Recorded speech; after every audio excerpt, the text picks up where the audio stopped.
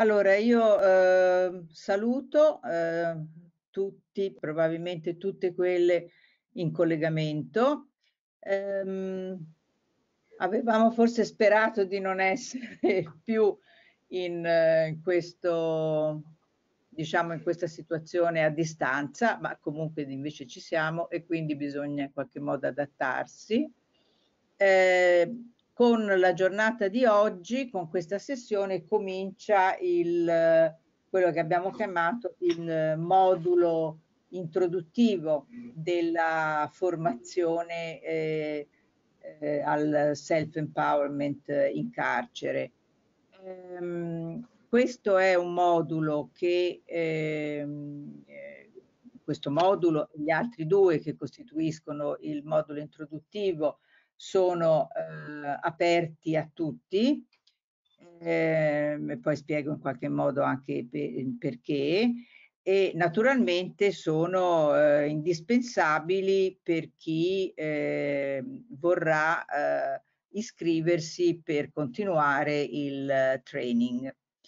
Eh, il training che, che come sapete eh, avverrà in presenza il, nel mese di settembre ehm, con eh, oggi il, inizia eh, la possibilità di eh, iscriversi al modulo di, di training di, in presenza di settembre. Ehm, come mai abbiamo scelto di fare questo modulo introduttivo in tre sessioni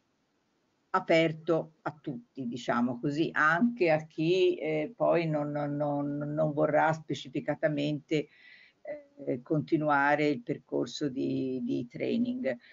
Eh, lo abbiamo fatto perché ci sembrava importante ehm, eh, comunicare, quindi avere la possibilità di approfondire ehm, l'approccio che eh, abbiamo scelto eh, il, con questo progetto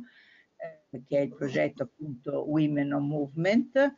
eh, di partire eh, dalla soggettività femminile e eh, di valorizzare la soggettività femminile. Eh, ci è sembrato che questo eh, approccio come dire, sia importante, sia importante come ehm,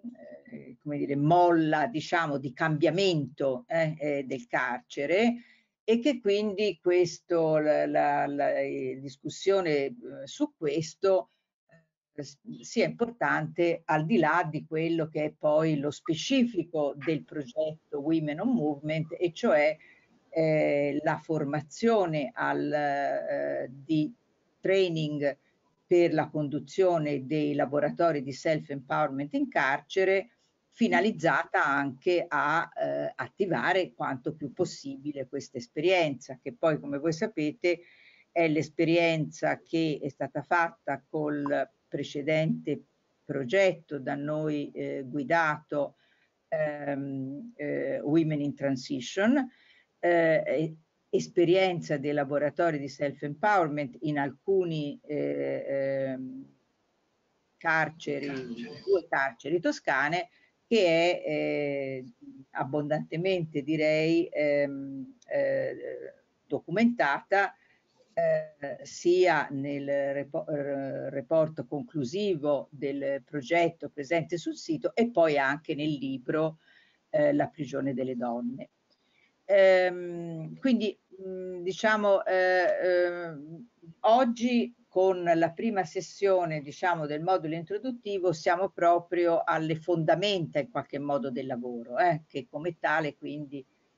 eh, ci sembrava importante approfondire.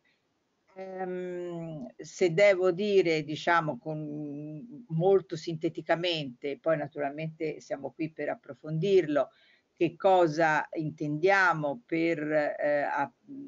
approccio della eh, differenza femminile è quello eh, di ehm, eh, cercare di mettere in luce non solamente i eh, deficit eh, diciamo della condizione femminile in carcere che pure esistono ma anche di eh, individuare le risorse che le donne possono mettere in campo, partendo dalla constatazione che spesso, molto spesso, troppo spesso, queste risorse eh, non sono sfruttate appieno, ma perché non sono viste, non sono viste spesso e non sono eh, considerate il, il, come tali. Um, quindi eh, questo primo eh, ehm, sessione eh, è intitolata Differenza femminile, relazioni, soggettività, esperienze e problematiche nel carcere di oggi. Ehm, ci è sembrato importante, mh, mm, come dire, avere uno spazio ehm, di visione molto largo, direi, e quindi di ehm, riflettere proprio a partire dalle esperienze fatte. Ecco, mh, mm, diciamo, eh, si può scegliere due modalità in qualche modo no? di affrontare il problema. Eh, è quello di mh, mm, riflettere a partire dalle esperienze fatte, eh, ci è parso che fosse il miglior modo per avviare il, eh, questa riflessione. Um, non eh, potrei dire altre cose naturalmente dal, eh, anche dal, eh, dalle ultime ricerche che eh, abbiamo fatto su questo, ma ehm, eh, credo che sia bene partire da eh, le vostre, le, dalle relazioni previste, dalle vostre esperienze e su quelle vedere di ehm, stabilire fra di noi un dialogo a tutto campo. Um, quindi io um, inviterei ora a parlare, e mi dispiace molto di non vederla fra noi, Susanna Marietti, che è la coordinatrice nazionale di Antigone, ehm, eh, e il tema che eh, si è individuato è eh, uno sguardo al carcere delle donne, Re Bibbia e non solo. Quindi Susanna direi che potresti cominciare. Sì, eccomi. Eh, grazie per questo invito e veramente mi dispiace moltissimo di non poterci mettere la faccia, ma purtroppo è un problema di applicazione che eh, non ha voluto funzionare in nessun modo. Eh, vi invito a interrompermi in qualsiasi momento se avete eh, richieste di approfondimento, chiarimenti, domande, qualsiasi cosa, mi farà sempre piacere. E dunque, sì, Grazia mi ha chiesto di eh, partire, diciamo, da eh, uno sguardo eh, un po' introduttivo e generale sulla detenzione eh, femminile in Italia. Eh, per poi arrivare a una esperienza più piccola piccola e concreta che è eh, quella che negli ultimi anni Antigone ha fatto a Re Bibbia. Eh, per, mh, mm, immagino che insomma tutti quanti sappiate a grandi linee cosa fa la nostra associazione però mi presento, Antigone è un'associazione che esiste da 30 anni e che lavora nel campo della eh, protezione e della promozione dei diritti delle pers persone che hanno incrociato la giustizia penale. Eh, molto lavoriamo con il carcere, ma non solo, anche in fase processuale. Ehm, e una diciamo delle ora senza dilungarmi ma delle attività che più ci caratterizzano è quella di svolgere oramai da molti anni perché dal 1998 un ehm, sistematico e capillare monitoraggio delle condizioni di detenzione in Italia eh, per diciamo verificare che rispondano alla normativa nazionale e agli standard internazionali eh, circa 100 persone della nostra associazione sono autorizzate dal 98, non sempre le stesse 100, dal Ministero della Giustizia a visitare tutte le carceri italiane con la stessa prerogativa che la legge concede ai membri del Parlamento. Eh, su questa base diciamo, ci siamo formati la nostra conoscenza del sistema penitenziario in generale e anche di quel sottoinsieme di sistema penitenziario che è il mondo della detenzione femminile. Eh, un, eh, decisamente un sottoinsieme. Eh, le, in carcere le donne sono poco più del 4% del, del totale delle persone detenute, in questo momento sono 2200 e qualcosa, e non è un dato ballerino, diciamo, sono decenni che più o meno le percentuali sono queste, quindi non è un dato ballerino nel tempo e non è un dato ballerino nello spazio perché se andate a vedere gli altri paesi europei eh, si discostano eh, di poco da, eh, da questi numeri, da queste percentuali.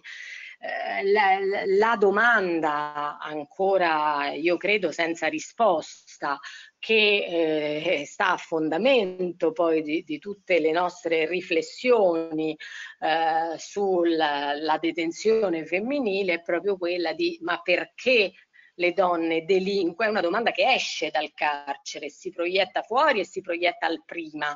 Ma perché le donne delinquono così tanto meno degli uomini? Io credo che ancora non ci siamo dati una risposta soddisfacente a questa domanda ci si è provato, è stato detto di tutto, eh, nell'Ottocento è stato detto che siamo eh, troppo stupide persino per fare il reato, poi si sono date risposte un pochino più complesse e intelligenti di questa, però io credo che eh, ancora non abbiamo davvero capito quale sia il punto. E, ehm, di fatto però in quello che è diciamo eh, a valle, ecco questa è la domanda che sta a monte, ma a valle eh, di, di, questa riflessione c'è poi eh, il carcere minimale per le donne. Eh, che ha una serie di ricadute che, che, tutte noi che abbiamo frequentato quel mondo conosciamo bene. Eh, il fatto che eh, le donne in carcere siano poche fa sì che il carcere sia uno strumento che viene modellato su, eh, sugli uomini. La, la, detenzione è fondamentalmente declinata al maschile. Um, ci sono anche problemi, eh, diciamo, banalmente concreti, nel senso noi in carcere abbiamo poco meno di 200 carceri per adulti e eh, 17 carceri minorili. Eh, di queste quattro sono le carceri femminili per adulti e uno è il carcere femminile eh, per minori. Ehm, parlo ora del mondo degli adulti perché la giustizia minorile in Italia ha un circuito del tutto differente. Eh, meno di un quarto delle donne detenute sono recluse in, eh, carceri, eh, in, queste, in carceri interamente femminili. La stragrande maggioranza, più di tre quarti, vivono nelle tante sezioni femminili che sono ospitate all'interno di carceri maschili c'è una ragionevolezza in questo, perché un sacrosanto eh, principio sancito dal nostro ordinamento penitenziario è quello della territorialità della pena, per cui eh, un detenuto eh, oggi finalmente nel 2018, l'ultima riforma dell'ordinamento dell'ottobre 2018, eh, è, questo principio si è trasformato in un diritto, ma anche prima c'era comunque, era, era enunciato, cioè oggi si dice che il detenuto ha diritto a vivere eh, e si dice non più eh, vicino al contesto familiare, ma vicino al suo centro di riferimento sociale, che è una visione più ampia, perché non è detto che io voglia per forza stare vicino a mio padre, a mio figlio, a mio marito, eh, ma posso avere un riferimento sociale forte in altre persone, in un altro contesto. Eh, allora, affinché do alle donne possa essere garantito vivere vicino al proprio centro di eh, riferimento sociale, è necessario moltiplicare le strutture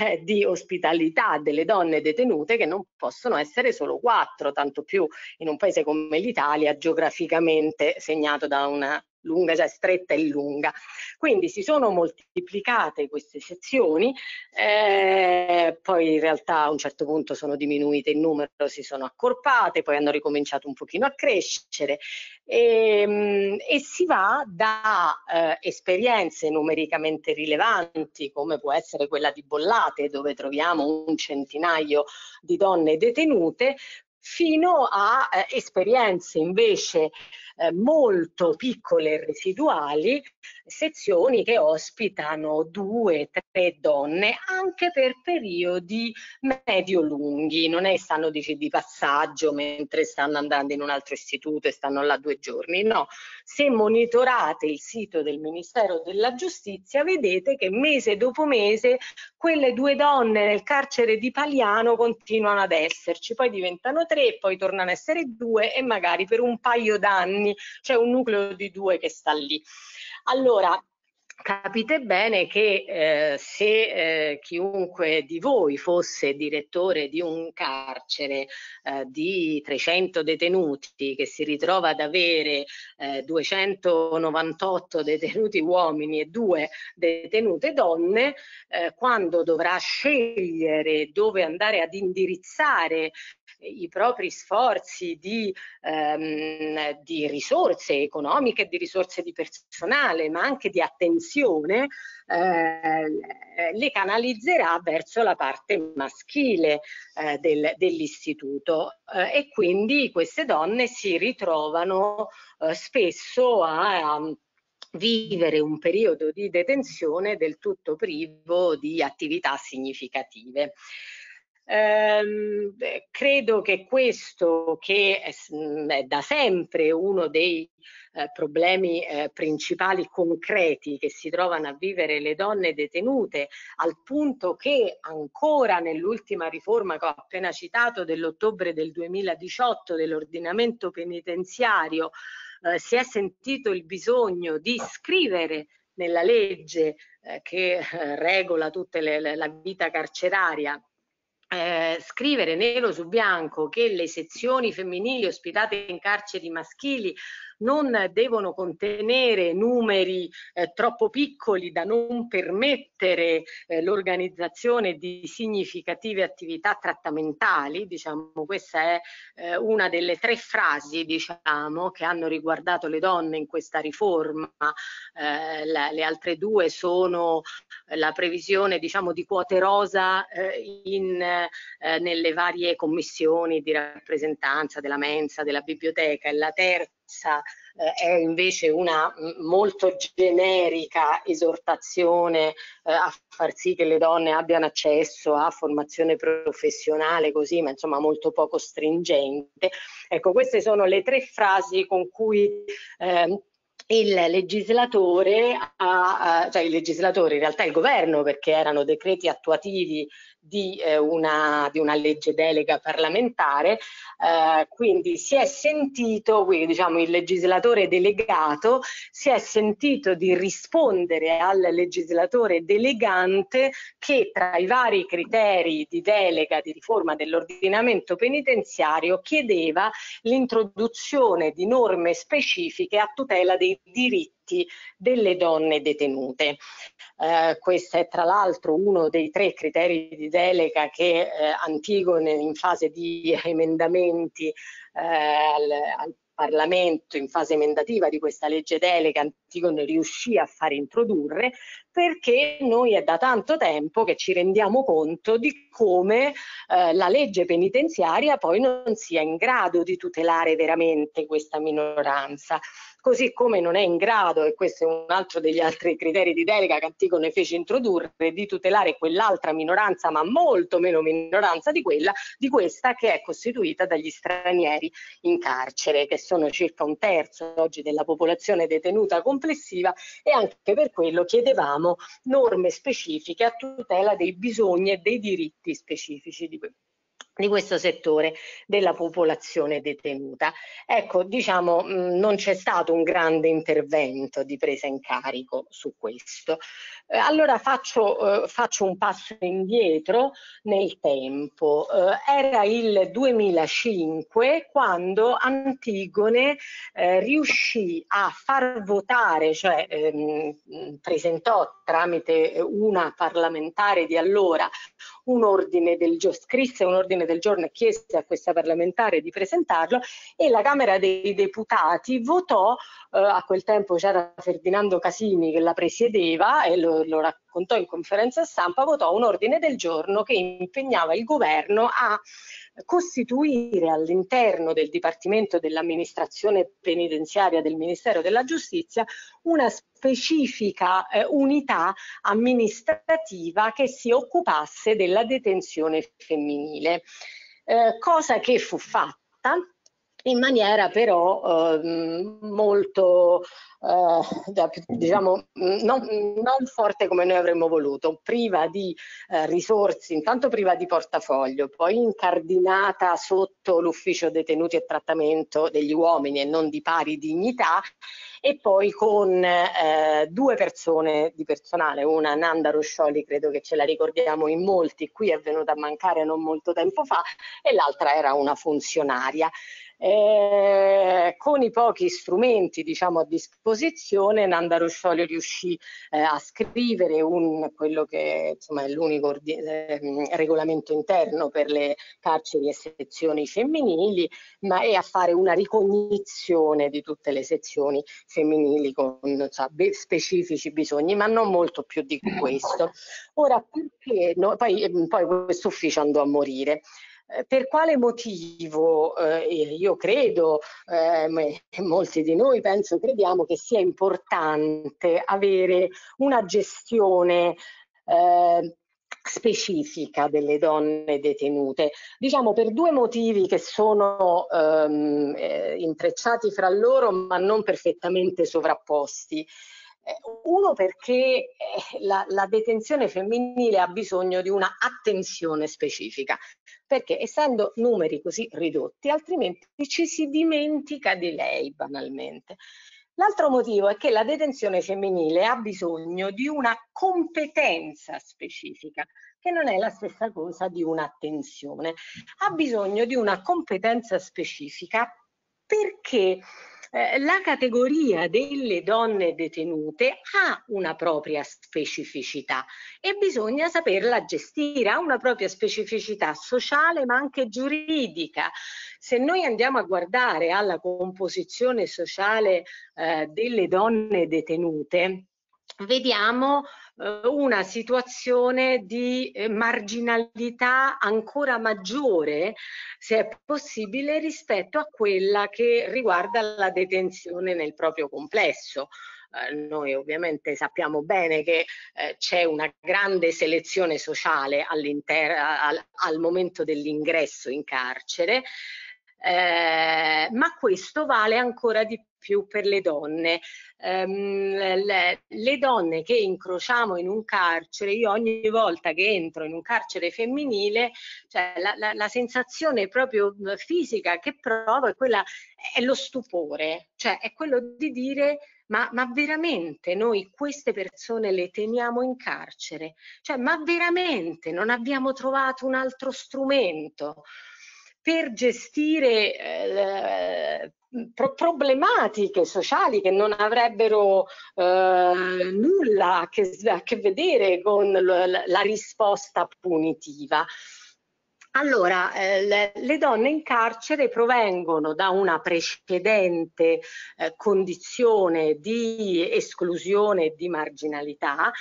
che eh, va a, ehm, a, farsi più profonda e ad acuirsi con il periodo di detenzione creando un circolo che spesso va avanti parecchio tempo. Se guardiamo infatti alla composizione giuridica delle donne detenute, vediamo che tendenzialmente c'è una caratterizzazione di, di pene tendenzialmente brevi, eh, tendenzialmente ripetute, c'è un'alta, un'alta recidiva, proprio tipico di uno stile di vita eh, da piccola criminalità di strada con essenzialmente eh, furti, il, eh, reati legati eh, alla, alle tossicodipendenze e via dicendo. Ehm, allora, mh, mm, ecco, dico ci vuole una competenza specifica per esempio, per gestire una pena breve non è come gestire una pena lunga, ci vogliono strumenti differenti e ci vuole una capacità differente. Eh, beh, faccio due esempi eh, che, ovvi ma che ho sperimentato in prima persona. Vabbè, il primo è quello delle attività interne al carcere eh, mi sono sentita dire tantissime volte quando si trattava di donne in carcere, vabbè, è inutile pure che la manda a scuola perché tanto fra sei mesi esce, oppure che le faccio fare qualsiasi altra attività che la persona voleva fare. Allora, eh, non può essere questa la risposta dell'istituzione. Cioè, in, in, in, usiamo la creatività, inventiamoci qualcosa, non ci credo che non si possa inventarsi un modulo breve o o una presa in carico differente, insomma. L'altro esempio è quello che, è, che, però è fondamentale. Queste donne, c'è un, una percentuale altissima di donne che provengono da situazioni di abusi precedenti alla carcerazione e che mh, tante volte si rendono conto di aver subito degli abusi al momento della detenzione, perché non avevano incontrato mai prima qualcuno che gli aveva detto ma guarda che questo è un abuso, questo non lo volevi. E, ehm, e quindi parlano con lo psicologo del carcere e viene fuori una nuova consapevolezza della condizione che si sono lasciate a casa. Okay. Ecco, um, questa nuova consapevolezza va a smuovere qualcosa dentro la donna, questa, questa presa in carico da parte del, del personale del carcere va a smuovere qualcosa e poi però non si arriva alla fine del percorso di questa presa in carico psicologica perché la donna dopo pochi mesi esce dal carcere, e viene abbandonata a se stessa. Ed era meglio lasciarla mh, mm, in quell'equilibrio instabile in cui stava prima, piuttosto che aver smosso qualcosa senza poi arrivare alla fine del percorso. Allora, anche qua, eh, spesso poi la donna cade in depressione, eh, anche qua possibile che non abbiamo la competenza e l'attenzione, il misto di competenze e di attenzione per inventarci un raccordo con il territorio, con i servizi del territorio che possa continuare la presa in carico e via dicendo. Ecco, um, la, se andiamo a guardare eh, la, um, l'ultima modifica che c'è stata delle regole penitenziarie europee del Consiglio d'Europa che è del, del 2020, eh, la precedente stesura era del 2006. Eh, sono state cambiate poche frasi. Eh, le regole penitenziarie europee sulle donne mh, avevano, avevano, un articolo specifico, ma insomma tendenzialmente mh, con una visione molto medicalizzata, anche cioè si parlava del parto e della presa in carico medica specifica per le donne, che per carità sono cose fondamentali, ma non esauriscono la vita di una donna. Ehm, la, la modifica è stata introdotta un'unica frasetta che però eh, diciamo dice, dice, nulla perché è tutta da riempire di contenuti, ma dice tanto, e cioè dice eh, tutte queste regole cioè tutto quello che è scritto in questo documento del Consiglio d'Europa deve essere applicato, tutti i diritti qui sanciti, deve essere applicato declinandolo al femminile quando si tratta di una donna, cioè andando a guardare i suoi bisogni e le sue esigenze specifiche. Ecco, diciamo un po' questo è ehm, è l'atteggiamento che l'istituzione dovrebbe avere. Per questo noi ora torneremo a richiedere la costituzione di un ufficio di questo tipo. Eh, stiamo lavorando alla scrittura di un nuovo regolamento di esecuzione, visto che è stato riformato l'ordinamento penitenziario, il regolamento di esecuzione esiste dal 2000, è stato scritto nel 2000 con una grande lungimiranza, ma insomma tante cose sono cambiate e la pandemia ce l'ha dimostrato, eh, durante la pandemia per la prima volta il carcere, eh, figuriamoci, ci voleva una pandemia, è uscito da quel, eh, quell'analfabetismo informatico per cui era una sorta di piccolo medioevo, no, quindi tante cose si possono fare e noi stiamo riscrivendo un regolamento sperando che eh, lo si voglia adottare. Ecco, in questo regolamento cercheremo di avere, eh, di dare il nostro contributo per un'attenzione e per una competenza specifica ai bisogni delle donne. Due parole sull'esperienza di Le Bibbie e poi mi fermo. Eh, Antigone nel 2014 insieme ad un'altra organizzazione che si chiama Progetto Diritti e che eh, è un'organizzazione di avvocati che lavora con le comunità immigrate, eh, ha dato vita con il sostegno dell'Università di Roma 3 a una polisportiva. Voi direte mh, mm, eh, che c'entra Antigone con lo sport? Eh, diciamo che ehm, dei delle, ehm, delle nostre ricerche più, ehm, eh, che, che, più ha accompagnato la nostra storia è quella della ricerca di eh, lingua, linguaggi che siano capaci di far arrivare le, le tematiche penitenziarie, che non sono tematiche facili, che non vanno di moda, che vanno sui giornali solamente quando c'è il caso eclatante, eccetera, linguaggi che permettano di far arrivare le tematiche penitenziarie all'opinione pubblica non specialista, quella più ampia possibile la trasmissione radiofonica che Antigone cura oramai da 11 stagioni, settimana dopo settimana su Radio Popolare, è, si chiama Jailhouse Rock, il rock della prigione, ed è una trasmissione musicale, ma attraverso la musica poi tentiamo di parlare dei problemi delle carceri attuali. Allora, lo sport, così come la musica, è un linguaggio universale, un linguaggio che arriva a tutti, che supera le,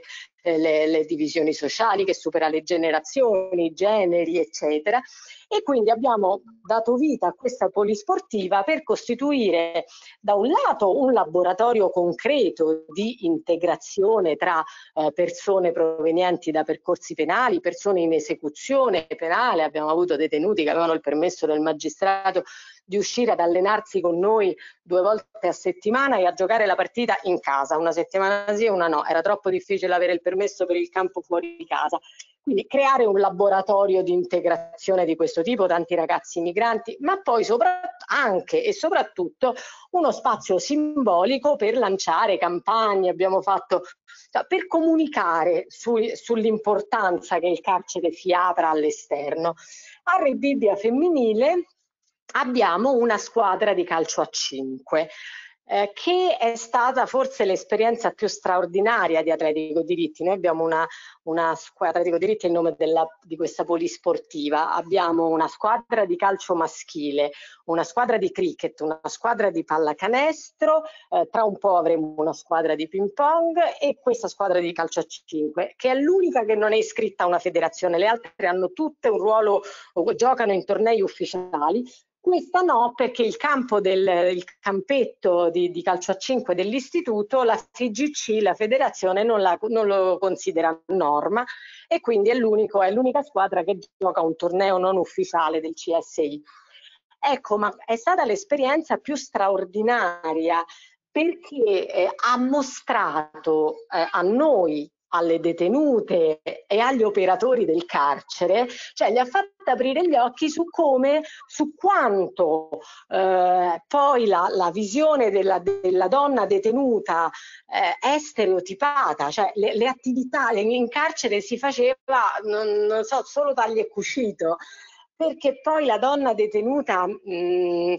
ancor più dell'uomo vive questa stigmatizzazione di non aver boh, corrisposto, non lo so, al ruolo sociale che le veniva attribuito e in qualche modo allora ora che sei in carcere eh, corrispondici. Ecco, e, e quindi è stata un'esperienza straordinaria con queste donne che eh, ancora ci continuano a scriverci anche dopo essere uscite dicendoci è la cosa più bella che ho fatto nella vita cioè una delle cose a volte leggo queste lettere e mi viene la pelle d'oca, ma, se, ma eh, ovviamente non era la cosa più bella che hanno fatto nella vita stare su un campetto da calcio a dare calcio al pallone con noi, ma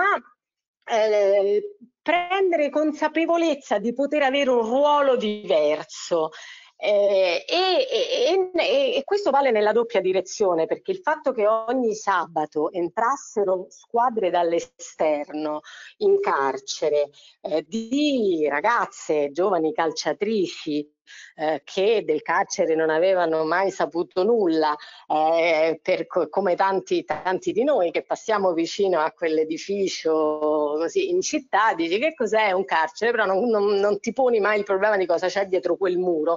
Invece ecco, quando quel muro si rende trasparente con qualsiasi strumento e si apre al controllo sociale, si comincia a considerare quel pezzo di terreno come una parte della città e non come qualche non, che mi riguarda, che riguarda tutti noi, ecco, allora veramente c'è una presa in carico eh, diffusa del carcere ed è quella la tensione verso la quale sempre più dovremo andare. Io vi ringrazio per l'attenzione e se c'è qualsiasi domanda sono contenta di rispondere.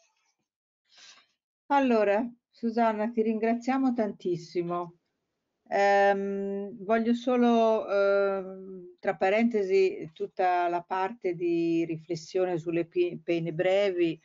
ehm, trovata particolarmente stimolante, però per il momento lascio da parte. Volevo solo ehm, fare due notazioni mh, perché mi sembra che servono, diciamo, a dare un quadro generale. Eh, una è eh, il discorso sul carcere modellato sugli uomini e sulla, dire, sulla scarsa consistenza della presenza femminile. Eh, questo è un problema perché, ehm, come dire, asseconda mh, hm, un modo di vedere il, le donne eh, come questione specifica e non invece come uno sguardo differente. Ora, eh, nella società è facile dire che per la verità siamo la maggioranza e non la minoranza. Quindi, eh, nel carcere è eh, un po' diverso. Quindi mh, io penso che eh, hai ragione, cioè la prima cosa da fare sarebbe, come dire, un po' come maestrine, ma insomma di rimarcare questa questione. Eh, mh, non è eh, come dire, non siamo, no, non è una questione di una minoranza dentro il carcere, eh? anche se i numeri sono bassi. Eh, non è una questione di trattarli come un problema specifico, anche se il numero è basso. Il problema è che riuscire a ragionare su uno sguardo differente e su un'esperienza differente porta un arricchimento, mh, come dire, di, di, di, di visuale, di panorama, che serve poi eh, non solo per la detenzione femminile, ma può servire anche per la detenzione maschile. È quello appunto eh, che Tamarpice eh, eh, chiama il, eh, diciamo, contro il carcere degli uomini per gli uomini, contro il carcere delle donne per le donne, quello che chiama eh, lo stesso carcere eh, degli uomini che degli uomini, lo stesso carcere delle donne che per gli uomini, cioè come dire uno sguardo che in qualche modo ti può dare di più. E poi vediamo come eh, declinare questa cosa. La seconda questione, eh, mh, carcere femminile, carcere femminile e sezione femminile nelle carceri. Ora tu l'hai detto molto bene, eh, è legato anche al discorso, c'è un suo senso, alla territorialità della pena, eccetera. Ehm, nel corso delle ricerche, ma ho visto anche degli stati generali, eh, si è incontrato un altro punto delicato ed è il fatto che il, eh, avere dei carceri in cui sono presenti eh, sia gli uomini che nelle donne pone in una luce diversa eh, anche la questione della sessualità e dell'affettività. Diciamo l'esempio forse più banale è quella dell'esperienza del panneggio nel carcere di Sollicciano, no? eh, con tutti i, i, limiti che può avere, su questo è stato anche riflettuto, però insomma dimostra che c'è una tensione,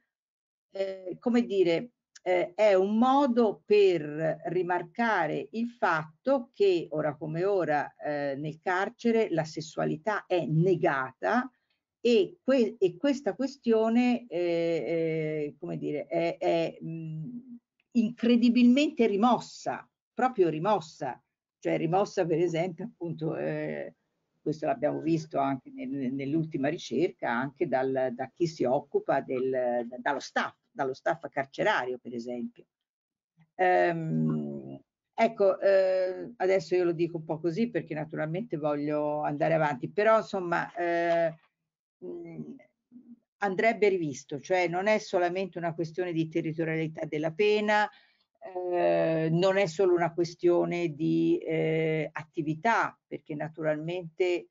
eh, mi sembrerebbe giusto che se ci siano delle attività, e questo peraltro mi sembra era stato detto anche agli stati generali, nelle sezioni maschili siano aperte anche alle donne, questo, eh, è proprio una sessione, eh, eh, come dire, un modo per ragionare su, sulla, è un aspetto della segregazione sessu sessuale, dobbiamo un pochino approfondirlo in questo senso. Ecco, scusatemi, è stata troppo lunga. Ah, eh, dunque, mi segnalano che ehm, eh,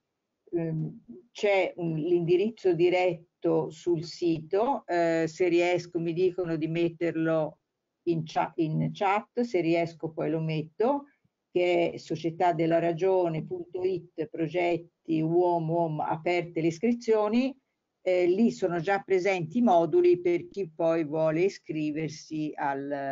al training. Ehm, allora a questo punto eh, do la parola a Maria Teresa Menotto dell'associazione Il Granello di Senape che eh, a partire diciamo dalla sua esperienza eh, ci aiuta ad andare avanti in questo percorso. Va bene, grazie, gra grazie, grazie, eh, buon pomeriggio a tutti. Eh, vabbè, sinceramente sono grata per uh, avermi dato questo spazio di libertà, di intervento e quindi anche la possibilità di portare, di raccontare un'esperienza che spero si possa inserire bene non solo in un ragionamento generale, ma anche nelle riflessioni eh, dell'agire di chi frequenta gli istituti di pena o comunque è interessato alla questione della pena. Allora, per cominciare appunto devo dire eh, che la mia esperienza, che eh, data più o meno ormai più di vent'anni, è un'esperienza che è fortemente ancorata in un'organizzazione di volontariato, come diceva grazie a prima il Granello di Senape,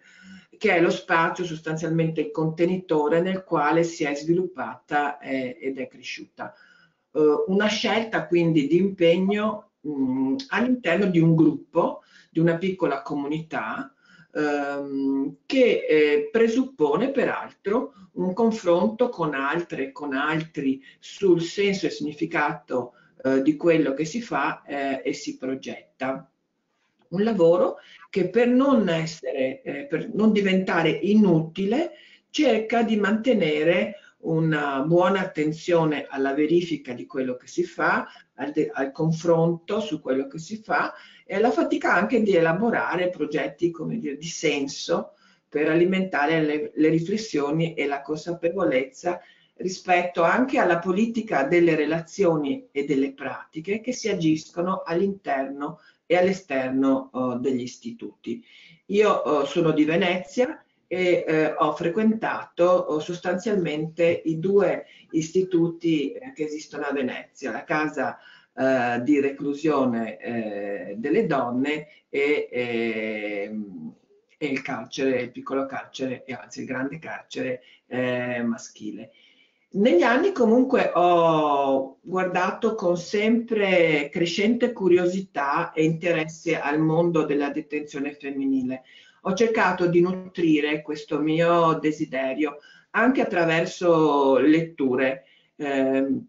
di quella, della bibliografia insomma sulla questione della detenzione femminile che esistono. Lo sanno bene Grazia e Susanna Ronconi perché sono state anche nostri ospiti nel presentare alcune delle loro uh, pubblicazioni. E ho cercato di privilegiare appunto nel mio volontariato, nel mio uh, agire, una dimensione eh, del, dell'operare e del riflettere che eh, cerca, cercava e cerca di interrogare proprio a partire dall'approccio eh, soggettivo, cercando di dare attenzione e di dare voce lì dove questo è stato, dove è stato possibile all'esperienza uh, delle donne e allo sguardo uh, delle donne anche appunto nei luoghi di reclusione. Ecco, questo puntare sulla soggettività peraltro sta anche nella mia, nella mia storia personale, eh, nella mia pratica politica anche diciamo al di fuori del carcere con il femminismo, con uh, la partecipazione ad associazioni appunto quale è stata l'associazione Prezioso nel mio periodo di presidenza della consulta delle cittadine del Comune di Venezia, ancora oggi in un'organizzazione che si chiama Venezia Manifesta, eh, perché la, la, dimensione soggettiva, soprattutto nel contesto di cui oggi eh, ci occupiamo, permette di andare oltre quella eh, semplificazione eh, che noi ritroviamo nella maggior parte anche della letteratura carceraria. E di cogliere eh,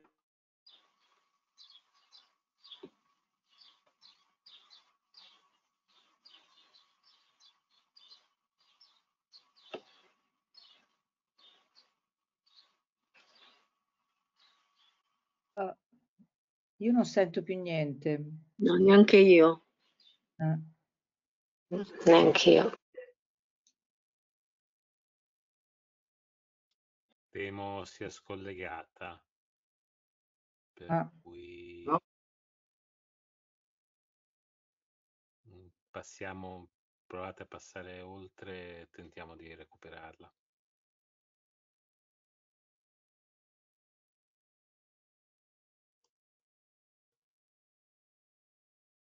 Eh, che sappia sta tentando di ricollegarsi?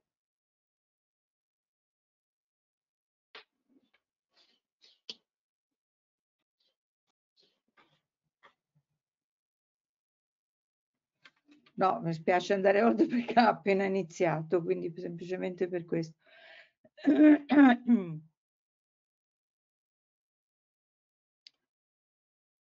Ecco. La voce, la voce.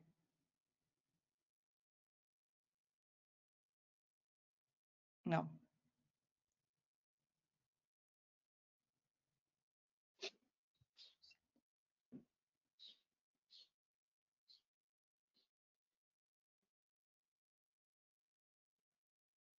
Vabbè, microfono eh, risulta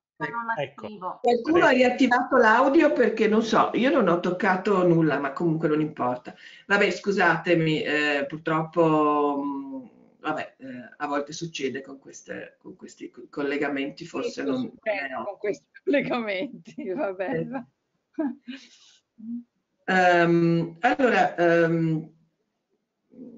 stavo... eh, Stavi mi parlando sono- della semplificazione delle letture carcerarie, ti ridò il, la Esatto, parola. hai ragione, sì, appunto, la, la- la retorica appunto che parla appunto, che, che- che- che parla appunto soprattutto della loro debolezza, della loro fragilità e delle loro incapacità comunque a, a cambiare a- e a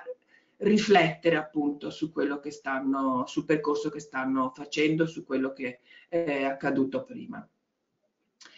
Ehm, rispetto agli uomini, perché nel mio volontariato, come vi dicevo, ho seguito per molti anni alc- alcuni progetti culturali, soprattutto piccoli gruppi con i quali ho fatto orientamento al lavoro nella casa circondariale di Santa Maria Maggiore, che comunque vivono una dimensione di solitudine, tra virgolette, analoga a, a quella delle donne. Lo sguardo delle donne vede però e vive questo stato questo loro stato in maniera più nitida, più consapevole, anche perché eh, io credo che la perdita eh, del controllo sul proprio spazio, sul proprio tempo, sulle proprie relazioni che costituiscono, e noi lo sappiamo bene, la trama della quotidianità delle donne, è sicuramente più faticoso rispetto, uh, rispetto agli uomini perché è nelle mani delle donne che è affidato comunque il governo uh, del quotidiano per loro stesse, per i figli, per tutta la famiglia. Lo diceva benissimo prima Susanna uh, Marietti, le donne, lo sappiamo, sono la uh, componente marginale di una popolazione penitenziaria prevalentemente maschile. Certo, un'esigua minoranza rispetto al totale eh, delle persone in carcere, e ciò nonostante io ho deciso di occuparmene appunto per un mio preciso interesse, vorrei dire per una sorta di passione, perché, eh, come vi dicevo, da tempo sono impegnata nella politica delle donne. E, e, e per la peculiarità di questa questione, di fatto poco conosciuta, poco studiata, e per tutte le implicazioni e le riflessioni che la detenzione richiede, a partire dalla differenza sessuale. Come dicevo, ogni ragionamento sulla detenzione femminile non può, credo non possa prescindere dal constatare innanzitutto che la storia della carcerazione delle donne non è mai stata ricostruita da nessuna storica, da nessuna criminologa, sociologa e neppure dal pensiero femminista. Ma eh, senza addentrarci troppo insomma, in, insomma, in, questa, in questa questione che eh, forse in questo momento non, non vale la pena insomma soffermarci, eh, forse vale la pena invece riflettere eh, su, su un'altra cosa. Eh, forse vale la pena ricordare che in Italia nel corso degli anni che vanno dalla fine della seconda guerra mondiale più o meno agli anni 2000, eh, le percentuali di donne detenute è rimasta, anzi non solo negli anni 2000, siamo nel 2020, più o meno immutata al di sotto del 5% della totalità della popolazione detenuta, mentre sappiamo che diversamente in un'altra istituzione totale, qual è stata quella per esempio del manicomio, almeno fino alla loro chiusura, la percentuale di donne recluse è stata decisamente maggiore di quella maschile. E questo è un altro, secondo me, eh, un'altra questione su cui varrebbe eh, la pena fare delle riflessioni.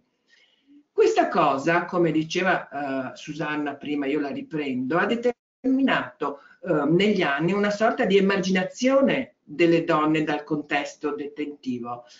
Citava lei appunto Nanda Roscioli e l'avrei eh, citata anch'io appunto rispetto a questa, a questa riflessione. Nanda, eh, che dall'interno che tra l'altro era stata educatrice anche eh, a Venezia, partiva pronto, la sua, la sua carriera partiva appunto dal, dal, dal, dall'istituto del, della Giudecca e che ha lavorato, credo, parecchio eh, sulla questione del femminile, eh, le donne eh, sembrano, oh, sem sembrano, rappresentare una sorta di non problema nella logica eh, della complessa, di,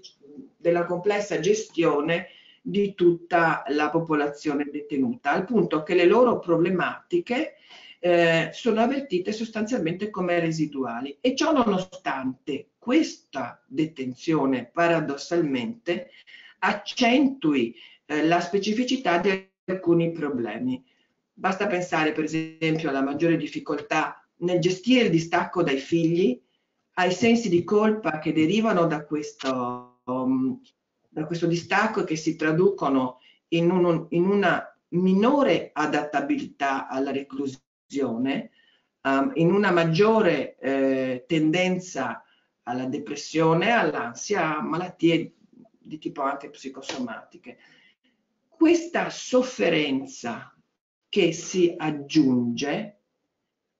è intrinseca comunque e costitutiva dell'istituzione totale che il carcere eh, rappresenta. In sostanza è un aspetto del carcere che non si può eliminare, a mio modo di vedere, se non con l'abolizione del carcere stesso.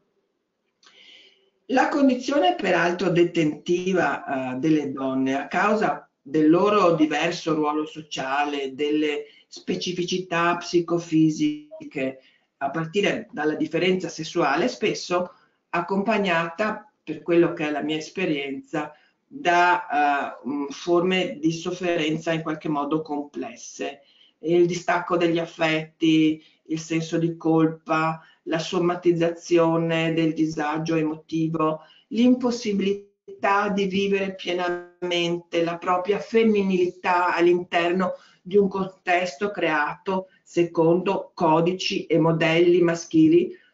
possono però tuttavia determinare anche degli, degli atteggiamenti positivi di resistenza alla spersonalizzazione.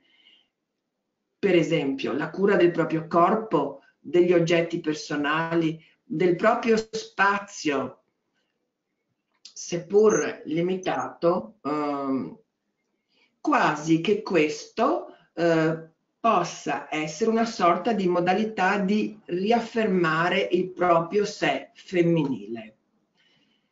Questa, mm, questa questione della, della possibilità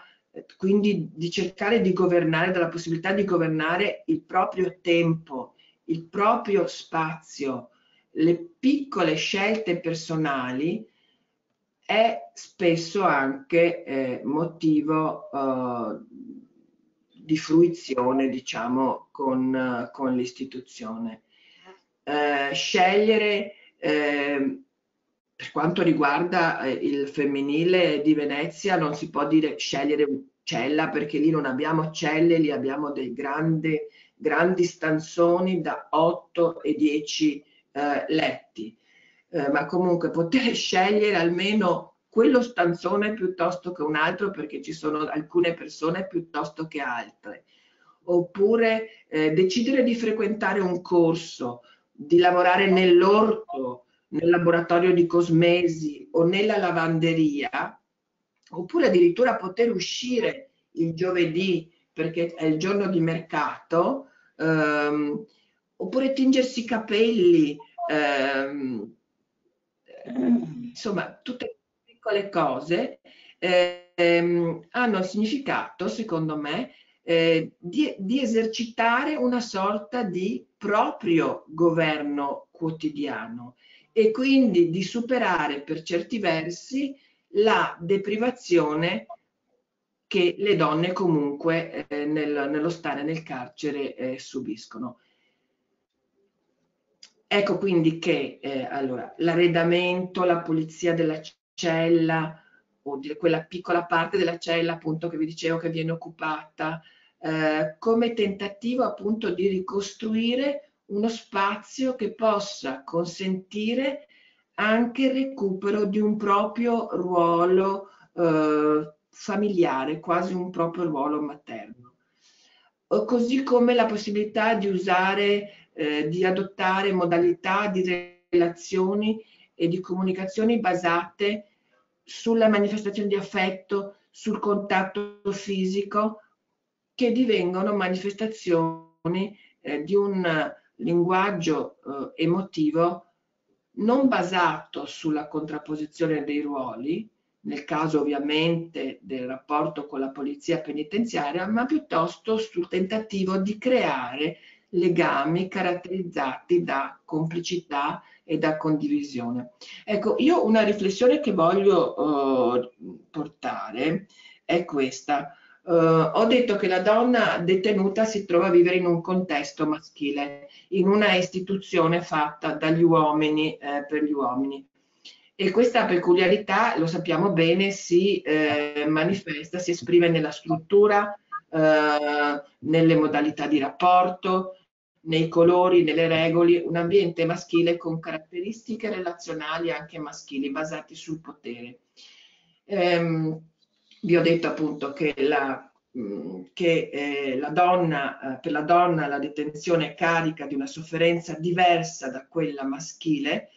una sofferenza legata eh, esplicitamente all'essere donna e che si aggiunge poi a condizioni specifiche difficile da gestire come per esempio l'essere madre, l'essere tossicodipendente, prostituta, eccetera, eccetera. E questo modo diverso di vivere la detenzione,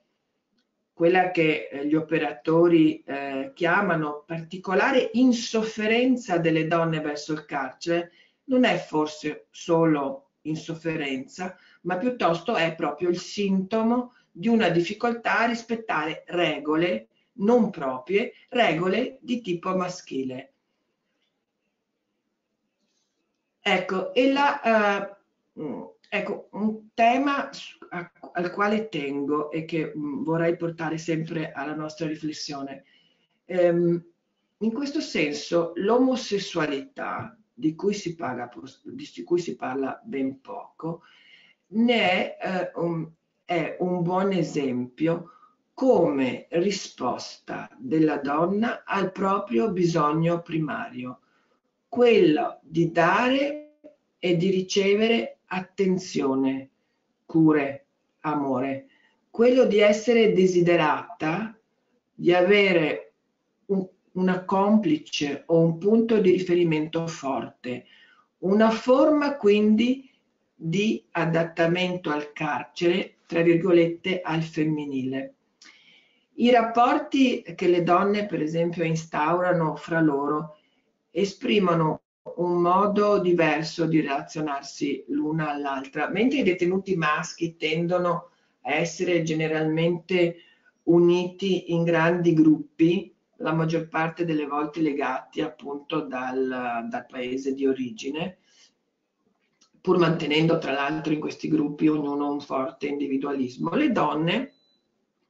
in carcere, così come fuori, non vanno tutte d'accordo tra di loro, eh, ma tendono a creare dei piccoli gruppi, anche di due o tre persone, molto uniti e con legami molto uh, forti. E credo che si possa dire anche che i rapporti tra le detenuti e le agenti di polizia penitenziaria sono diversi nel mondo femminile. Sono molto più spesso basate sul dialogo, sulla, sulla confidenza. Um, e per finire questo ragionamento è altrettanto importante evidenziare che anche le donne che lavorano all'interno dei carceri femminili o delle sezioni femminili si trovano a vivere, seppur ovviamente in maniera eh, non costrittiva, eh, il peso dell'istituzione maschile. Le agenti donne si trovano a dover esercitare un ruolo pensato e messo in atto da uomini. Eh, sono sottoposte continuamente al giudizio dei loro colleghi e sono costrette, secondo me, tra due modalità. Da, o da una parte eh, adeguarsi al ruolo imposto assumendolo come proprio ed esercitandolo copiando o riproducendo appunto modelli maschili con il rischio peraltro di trasformarsi in caricature eh, prive di identità eh, propria. E dall'altra poiché si trovano ad agire in una specificità totalmente femminile costrette invece ad utilizzare modalità di relazione e di rapporti tipicamente femminili e quindi non basati sulla contrapposizione ma sulla comunicazione e la mediazione. Queste sono un po' le cose che eh, avevo pensato di dire, Beh, ce ne sono tante altre, c'è tutta la questione del tempo, vabbè, ma magari su questo eh, possiamo un attimo... Eh, mm, l'ultima cosa che volevo, oh, che volevo sottolineare è la questione del corpo, invece eh, cioè la questione del tempo e del corpo. Eh, io credo che la questione del tempo e la reclusione del corpo eh, siano per le donne un problema assolutamente centrale della detenzione. La donna fuori eh, vive il tempo sul proprio corpo con le mestruazioni, con la maternità, con l'invecchiamento, con la menopausa un corpo invece che in carcere tende, almeno per quella che è la mia esperienza, è un corpo che tende per esempio eh, ad ammalarsi nonostante una certa sollecitudine da parte delle istituzioni nella cura. un corpo che risente di tutte le difficoltà che il tempo della pena produce nel breve e nel lungo uh, periodo. Un corpo costretto al silenzio, all'immobilità, ovviamente rispetto all'esterno, e eh, spesso alla, alla solitudine. Ecco. La negazione, vabbè, insomma, adesso non, non, voglio, non voglio, ecco, io per ora mi fermerei qua, ecco, poi se ci sono delle domande specifiche, volentieri, insomma, sono qui e, e pronta a rispondere. Allora, grazie Maria Teresa, hai messo tantissimi temi tutti interessanti. Um, eh, voglio solo fare due sottolineature, se me le permettete, scegliendo fra la ricchezza dei temi sul tappeto. Um, è verissimo che eh, c'è diciamo, questa sofferenza aggiuntiva delle donne che deriva dalla perdita di controllo sulla quotidianità perché eh, la quotidianità è nelle mani delle donne. Però è anche vero che se eh, diciamo il, eh, chi governa il carcere mh, riuscisse a vedere questo aspetto, eh,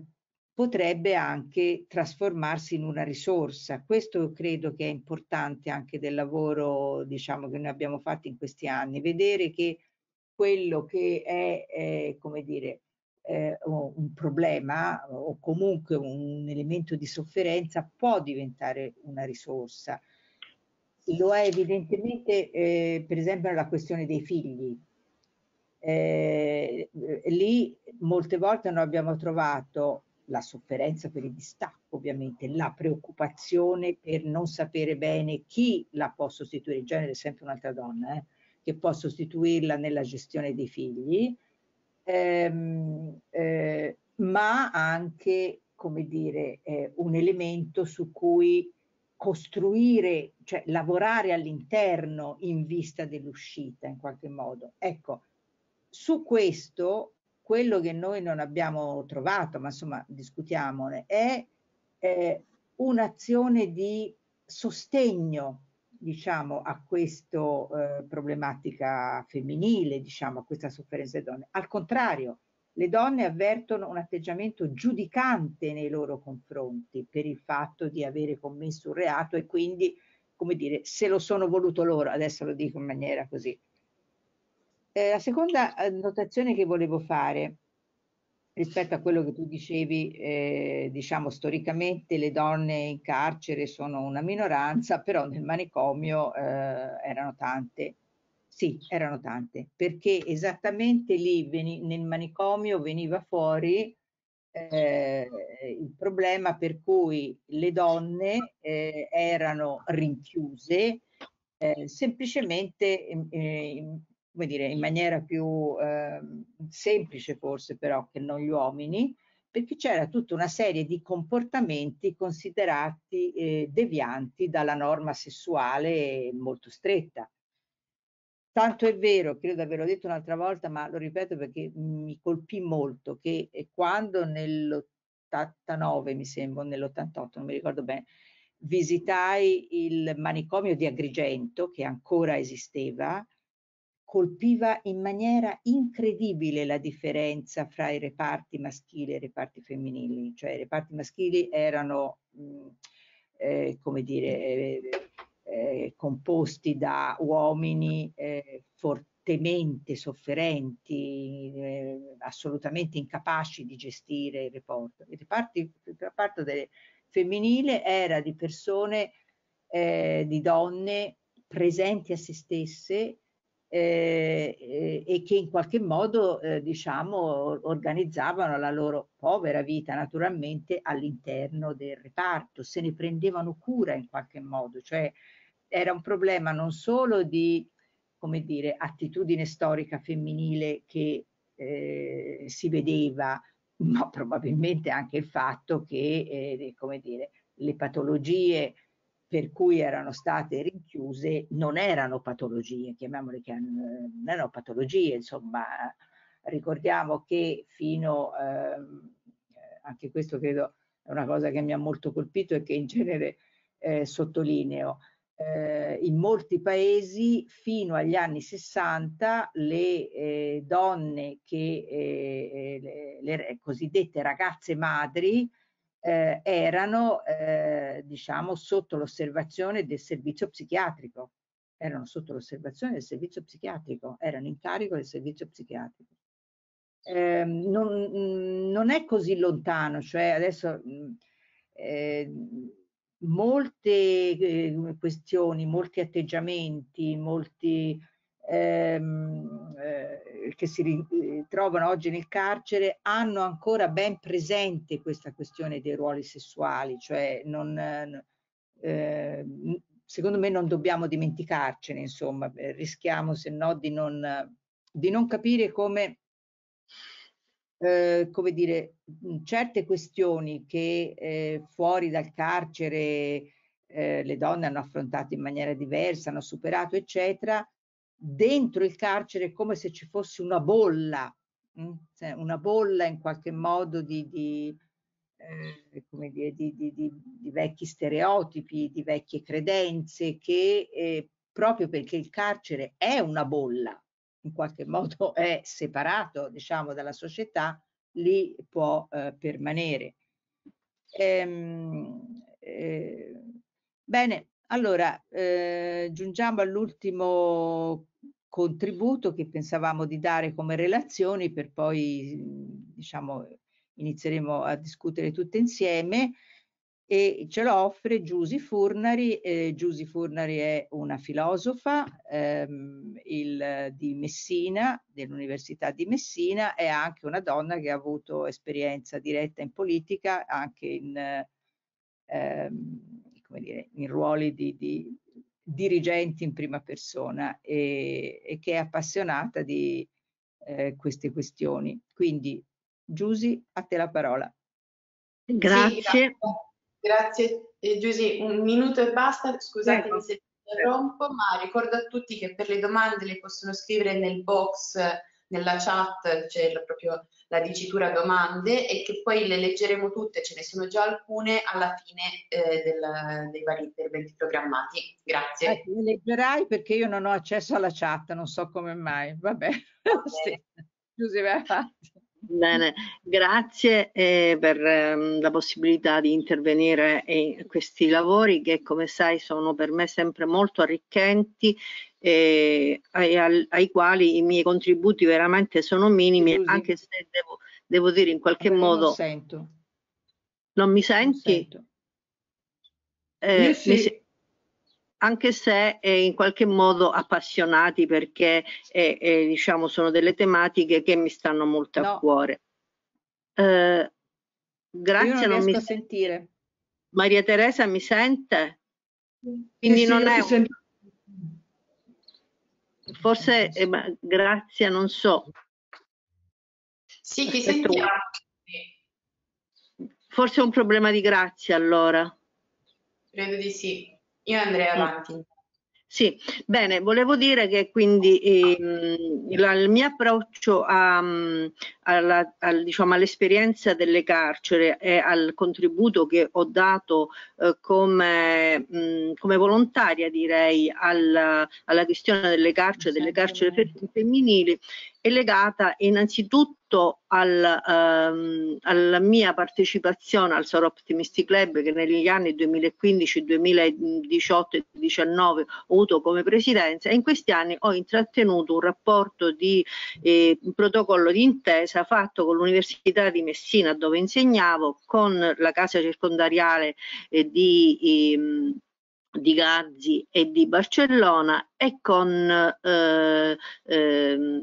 la, la, eh, il Solo Optimist Club di cui ero presidente. Questi progetti avevano il, eh, il fine di mettere in relazione le risorse eh, del, dell'Università di Messina, psicologi, pediatri, ehm, no, scusate, pedagogisti, non pediatri, pedagogisti, psicologi e e studiosi di, di filosofia, ehm, il club eh, che contava su delle professionalità ehm, di rilievo e di esperienza è il, eh, ehm, il carcere che aveva dato questa disponibilità perché ci potessimo incontrare e potessimo avanzare dei progetti. I progetti che in quegli anni abbiamo proposto e di cui anche Grazia è stata eh, nostra ospite eh, venendo più volte eh, a presentare il suo libro, a incontrare le detenute delle carceri, a um, presiedere ad alcune attività che il club aveva fatto, sono state occasione per me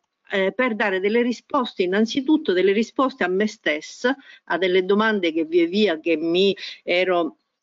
eh, come dire, che mi ero più, sempre più appassionato alla sfera politica come intervento politico, alla sfera sociale come conoscenza effettivamente sul campus dei dati, eh, del, soprattutto del mio territorio, della mia realtà, perché eh, ovviamente eh, qualcosa eh, mi veniva dagli studi che avevo fatto, qualcosa eh, mi veniva dal, dalle esperienze che erano state fatte altrove, dalle ricerche che venivano fatte altrove, ma effettivamente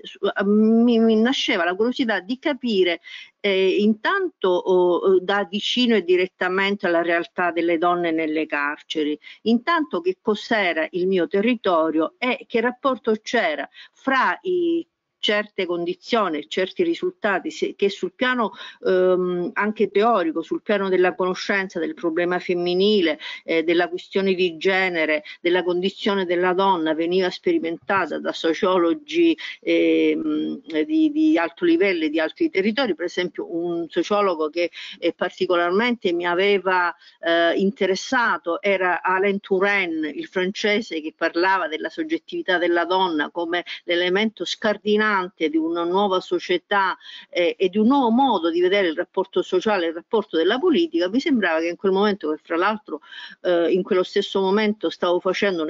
un'esperienza eh, alla regione siciliana come assessore, quindi mi interessava anche capire che cosa effettivamente potevo fare in maniera più consapevole per il mio territorio, mi sono adoperata per conoscerlo direttamente, al di là delle, dei resoconti che mi venivano dati. E così abbiamo cominciato questa esperienza. Abbiamo fatto fatto dei lavori, abbiamo presentato dei progetti, dei progetti eh, che ehm, eh, appunto l'università mi ha sostenuto e in cui c'erano dei gruppi di, di donne eh, nelle carceri in quel momento di, um, fino al numero di, di 15 persone. Abbiamo fatto una serie di incontri per poter avviare una serie, una serie di eh, come dire, di eh, dialogo fra chi veniva da fuori e chi era dentro, fra donne, infatti uno dei primi incontri che abbiamo fatto era donne che si incontrano e che si parlano e che quindi eh, mettere a confronto delle esperienze e, e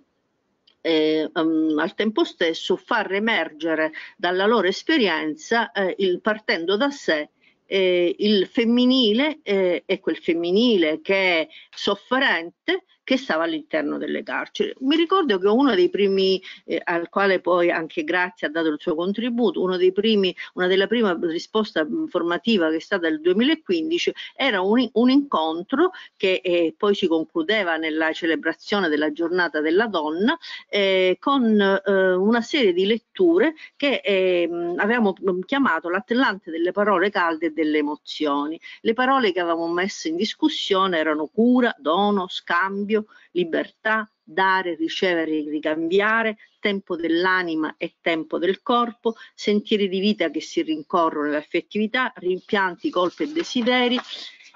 e, e, concludendo poi un incontro sull'essere donne. E tutto questo veniva accompagnato da una serie di letture fra cui c'era quella di un piccolo di dizionario delle emozioni di Ivana Castoldi una lettura che ha, che ha avuto un grandissimo successo e che devo dire la verità all'inizio avevo temuto nella, nel proporla era la lettera al padre di Frank Kafka, che mi sembrava una lettura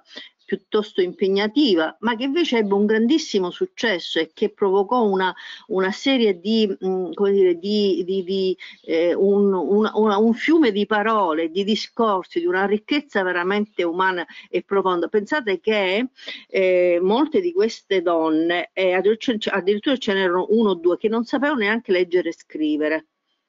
e, e che tuttavia di fronte a questi testi eh, sono venuti fuori con una ricchezza di considerazioni e di, ehm, dire, di, di riflessioni che effettivamente ehm, erano sconvolgenti. E, ehm, dunque questo eh, questa esperienza ehm, ha dato poi dei, dei risultati eh, con una produzione che loro stesse hanno fatto ehm, alcune con, facendo delle poesie, altre raccontando la loro storia, alcune semplicemente eh, facendo riferimento a dei testi di canzoni, a dei testi, a delle poesie e via dicendo. Ed è emersa tutta quanta la, diciamo, la complessità anche del loro, eh, eh del loro stare dentro e fuori al tempo stesso, perché in realtà a me è sembrato che le donne non stessero mai veramente là dentro, ma che sostanzialmente erano tutte completamente proiettate sul fuori o sull'altrove, che era il fuori dei figli, il fuori degli affetti che non avevano vicini, il fuori dei, dei mariti che magari si trovavano in altre carceri, eh, del fuori del, appunto come si diceva poco fa, di chi erano, a chi erano stati affidati i loro ragazzi, a chi erano stati affidati i loro figli. E ehm, eh, diciamo che anche il loro eh, la loro, come dire, eh, eh, la visione del loro, oh, del loro essere state fuori, dell'aver in qualche modo, dell'essere in qualche modo incorse in un reato e quindi in una pena, molto spesso era un frutto di un aver partecipato in maniera accuditiva e per cura agli interessi della famiglia, agli interessi alla protezione del figlio, alla protezione di un'attività del marito e via dicendo. Quindi in realtà un, un femminile che pur avendo consapevolezza di sé, questa, questo sé era di totale abnegazione molto spesso e di totale eh, proiezione verso un ruolo che avrebbero voluto più presto riprendere per poter in qualche modo salvare da un possibile eh, tradimento i loro figli stessi. E, ehm, mh, eh, devo dire ecco una cosa, devo dire in particolare, l'esperienza che ho fatto soprattutto in questo primo periodo è stato delle detenute di alta sicurezza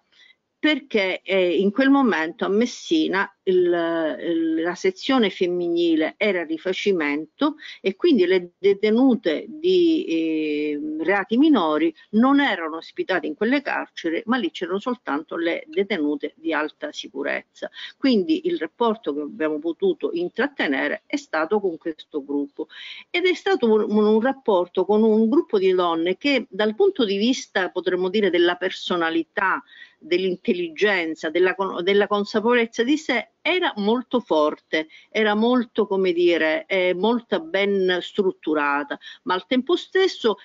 era strutturata in qualche modo su un femminile che si riconosceva in un ruolo ben preciso del suo essere donna, del suo essere donna in una società e in un gruppo familiare uh, cui con, con, cui c'era una totale eh, eh, sorta di, eh, eh come dire, di identificazione. Eh, devo dire anche un'altra cosa, che ehm, successivamente negli anni, nel, nel, 2016, nel 2017, invece questa esperienza è stata fatta con gruppi di detenute eh, che ehm, erano, di, ehm, erano dentro per eh, reati minori e devo dire che l'esperienza è stata di tutt'altra, di tutt'altra eh, natura, nel senso che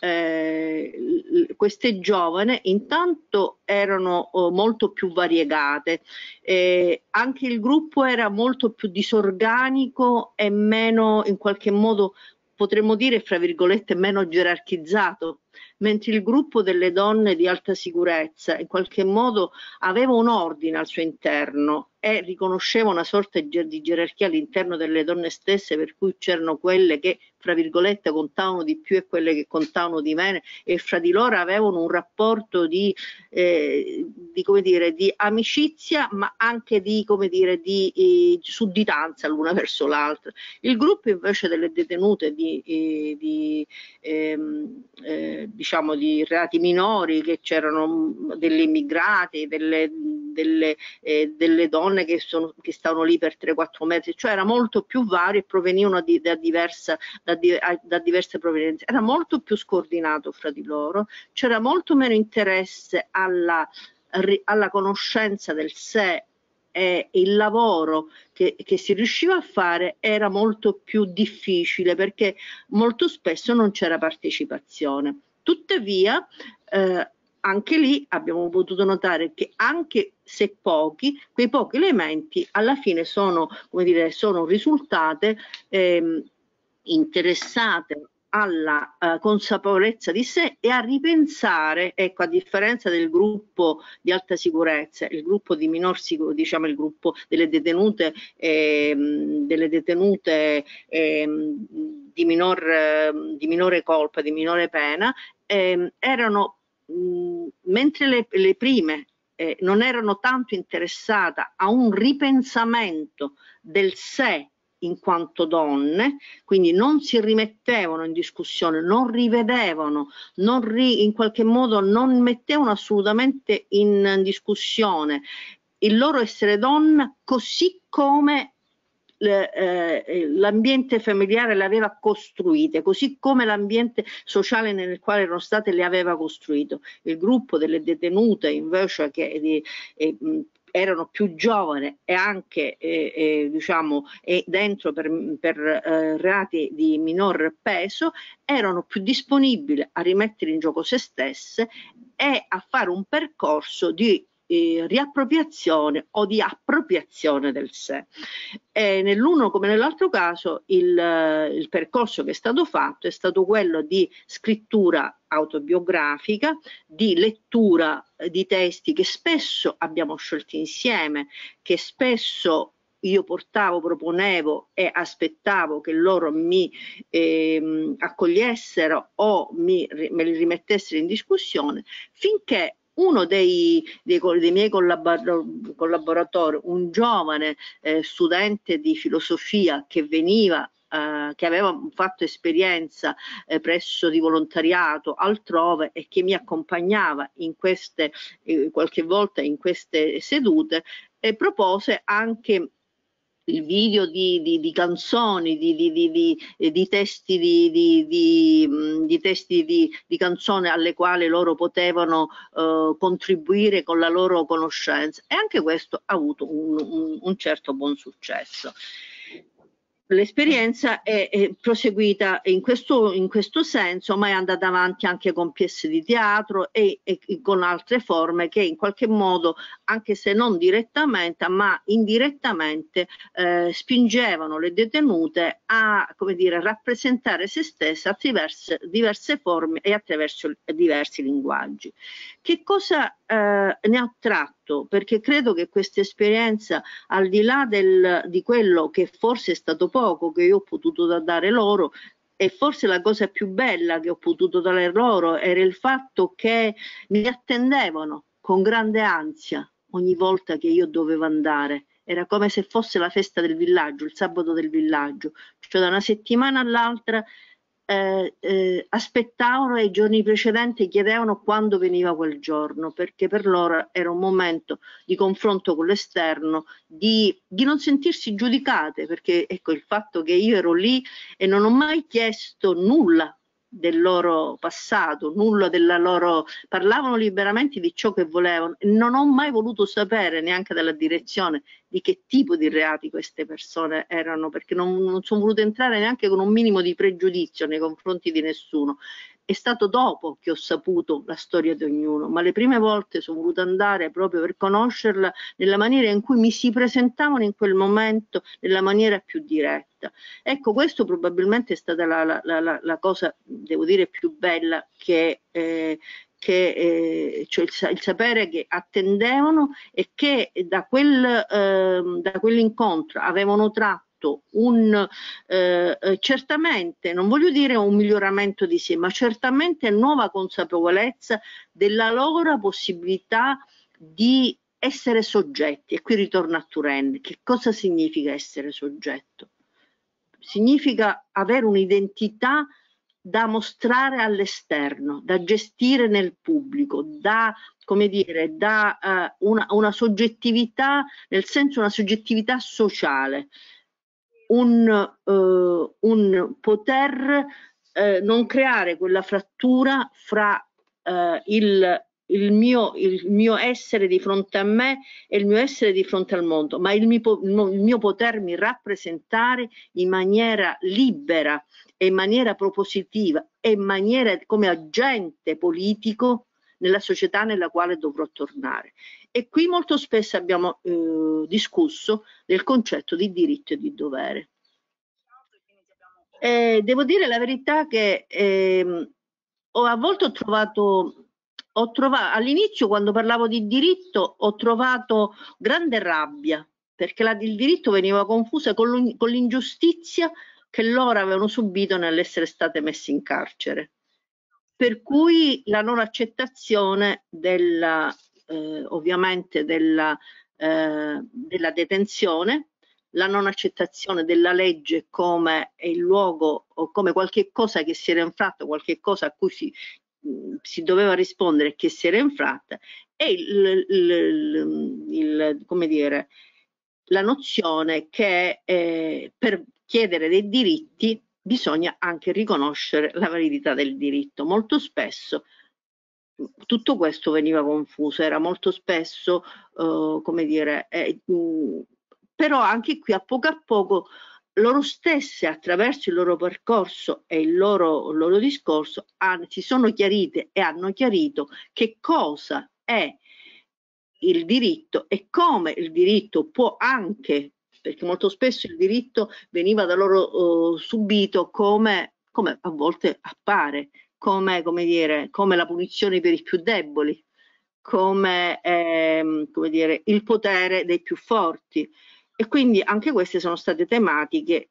eh, eh, che, alle quali non si sono sottratte eh, e che hanno, a cui invece hanno dato un contributo di interpretazione che secondo me hanno, oh, oh, è servita a loro, ma è servita anche a me, come è servito anche chiarire i rapporti delle, delle detenute eh, nei confronti delle loro oh, consorelle, diciamo, e, e del personale carcerario, perché molto spesso un punto di grande, ehm, come dire, di grande attrito era fra il, ehm, il loro essere anche spesso corpo di detenute, quindi non la detenuta ma corpo di detenute, e eh, le, eh, le, le, custodi, le, le, agenti di turno che spesso si, eh, eh, per loro erano soltanto delle detenute a cui bisognava imporre del, eh, erano delle colpevoli e quasi in ogni azione ricordavano la colpa di queste donne. E, ehm, dico ancora un'ultima cosa, mm, eh, ehm, che cosa mi ha insegnato ancora di più questa esperienza e perché ho voluto, ho, ho voluto, continuare a farla, come vi dicevo, anche negli anni a venire? Perché ho avuto l'impressione, cosa che ha detto poco fa Grazia, che mi ha, eh, proprio mi ha eh, impressionato, nel senso che ho detto guarda l'ha detto così bene ed è proprio quello che voglio dire io, cioè il fatto che quando entri nelle carceri è la situazione, fra virgolette, sociale, quindi come se tu lo considerassi un mondo a sé, la questione ti pare di essere entrata nel Medioevo. Non che nella nostra società eh, spesso il rapporto, la questione femminile non ha ancora qualcosa di medievale. Ci diremmo delle, dire, delle, delle cose non vere se, se noi eh, non dicessimo che ancora per certi aspetti e soprattutto in certi momenti nella nostra società emerge un,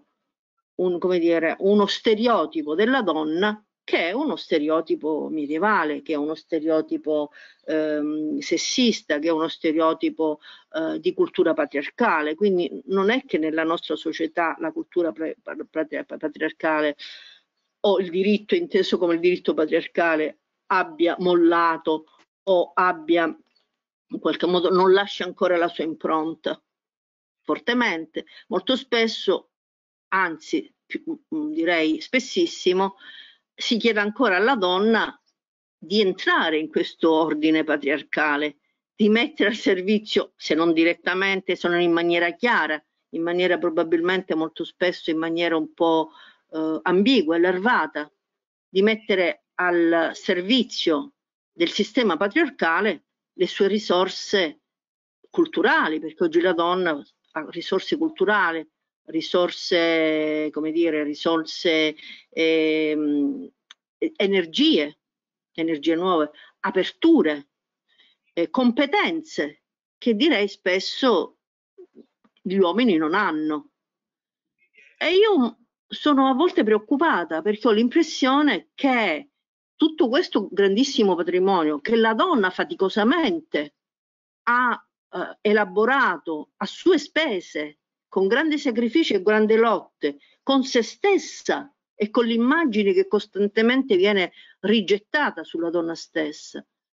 venga assorbito dal patriarcato per poter sopravvivere sotto nuova forma ma per poter sopravvivere. Quindi molto spesso quando dici mettiamo le donne, le quote di, di potere, mettiamo le donne, ma per che cosa? Per, per, rafforzare il sistema patriarcale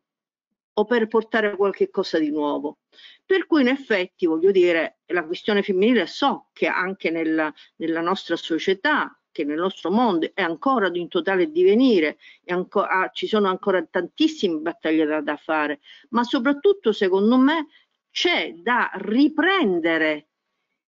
un, un punto per tenere insieme il frazionamento a cui lo stesso pensiero femminile sta andando incontro, che rischia di indebolire tutta la questione femminile in sé. C'è il rischio di, come dire, di congelare il complesso orizzonte della questione femminile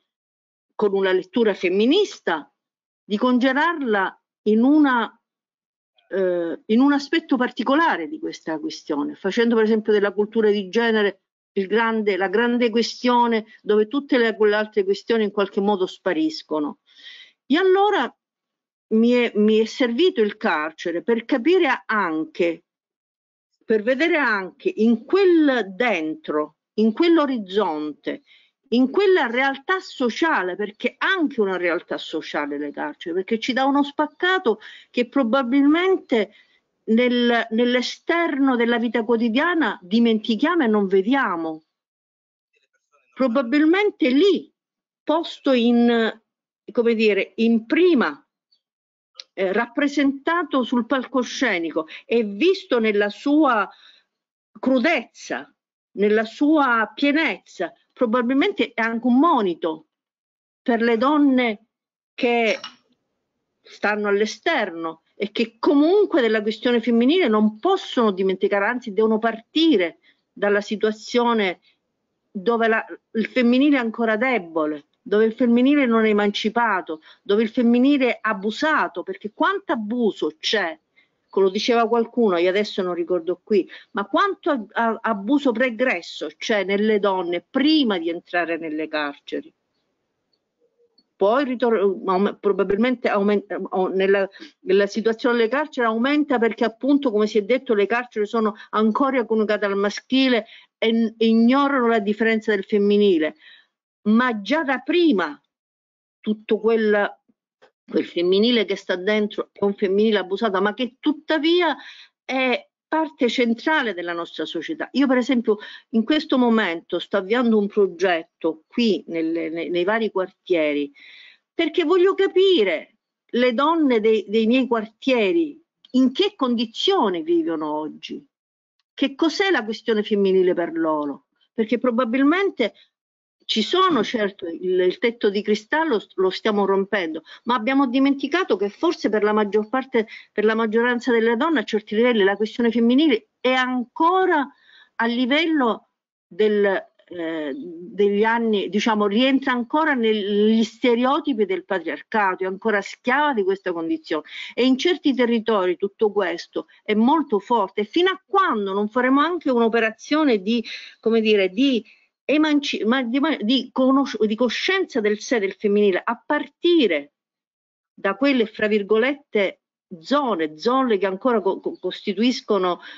eh, difficoltà, rappresentano la difficoltà del femminile, forse non riusciremo né a cambiare le carceri né a cambiare l'esterno. Per cui ritengo importantissimo questo confronto, questo dialogo fra l'interno e l'esterno,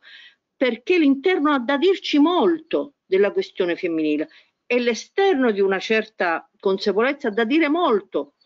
a quella realtà. Ma tutto questo deve diventare, secondo me, una questione sociale, una questione culturale, una questione, fra virgolette, politica, che non è l'ingresso, delle, del, non è le pari opportunità delle quote, eh, delle quote, eh, eh, delle quote femminili, che certamente sono un contributo, ma, no, ma possono essere anche una trappola. Se noi, non, se noi non teniamo conto che il nostro lavoro deve essere una, un lavoro di emersione del femminile nel senso della, eh, del venire fuori della differenza e del rispetto della differenza in tutte le sue declinazioni a partire dall'emarginazione che sono le carceri, che sono i nostri, i nostri quartieri, che sono certe zone del nostro paese che sono le donne del, del, diciamo extracomunitarie e via dicendo. Ecco, questo è il grazie che io devo dire a questa mia esperienza delle carceri. La ragione per cui il mio discorso vuole andare al di là della questione carcere stessa, perché ritengo che è una delle cose che deve rientrare. E ringrazio anche Grazia perché mi ha effettivamente eh, con i suoi lavori, con la sua presenza, con i suoi stimoli, con il lavoro che veramente fate, è un pensiero femminile e femminista che dà molto a questo aspetto, come possiamo dire, eh,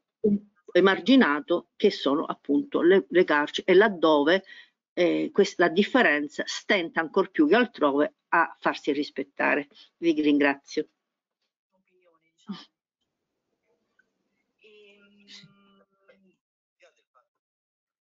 Benissimo. ora. Grazie Giusy, molto. Um, solamente di corsa due o tre notazioni ehm, quando sento appunto la, la,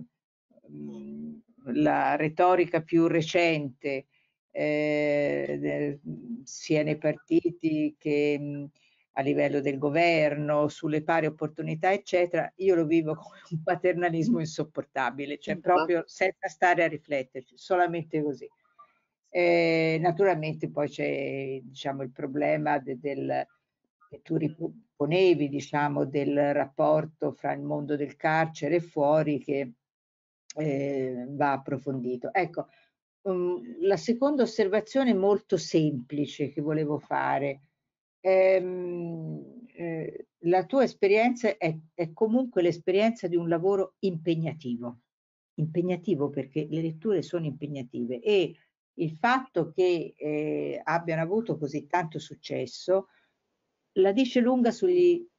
stereotipi che ancora ci sono, perché eh, quando mi è capitato, insomma, anzi è capitato queste ricerche, naturalmente entravo nelle carceri, parlavo con il direttore, parlavo eh, con gli educatori in primo luogo, poi successivamente anche con gli agenti, ehm, però diciamo il, il, primo discorso che veniva fatto è eh, dalla maggioranza, eh, è, beh, insomma, le donne non si interessano a niente. Cioè questo discorso che le donne sono passive, che non si interessano, che sono, non lo dicevano esplicitamente, ma insomma che sono ignoranti e così via, a me l'hanno fatto, eh, diciamo, eh, esplicitamente e implicitamente. E questo, viene fuori come uno stereotipo. L'ultima cosa, ehm, io credo che eh, ci, mh, più che appunto il discorso che pure è stato ben approfondito, mh, perché diciamo le donne delinquono meno degli uomini e quali tipi di reato fanno e in, e in rapporto poi in quale rapporto con gli uomini, eh, che peraltro è in qualche modo è, diciamo, nella letteratura americana mh, è stato anche affrontato e sviscerato, eh, sarebbe interessante approfondire eh, come le donne si percepiscono come autrici di reato e come si percepiscono in rapporto a la percezione sociale o quella che loro sentono essere la percezione sociale di loro stesse come autrici di reato. E questo è secondo me molto importante perché in alcune, soprattutto in alcuni nodi, quale quello appunto della maternità, del, ehm, della paura eh, appunto di, di, di, di essere sconfessate come madri, ma proprio anche di, di essere messe ai margini, eh, proprio dai servizi sociali e così via, eh, gioca molto anche questa questione, cioè in parte, lo dico in maniera anche qui semplice, scusatemi, forse troppo affrettata, in parte c'è una reazione molto viva, cioè di rifiuto no, di questo eh, giudizio, eh, in parte ehm, proprio questa reazione, diciamo, molto viva, cela però un, eh, come dire, un, una zona di, eh, in cui subiscono eh, in qualche modo anche questo giudizio. Quindi fra, come dire, il rifiuto e eh, il subire c'è, secondo me, uno spazio molto per eh, lavorare. Ehm, bene, ehm, io prima mi hanno detto che c'erano domande, io eh, adesso ho accesso alla chat, le domande perlomeno mie sono vuote, la mia chat è vuota. Io direi che ehm, se qualcuno vuole dire qualcosa può iscriversi alla chat oppure mh, in questo momento non c'è nessuno, puoi anche prendere la parola.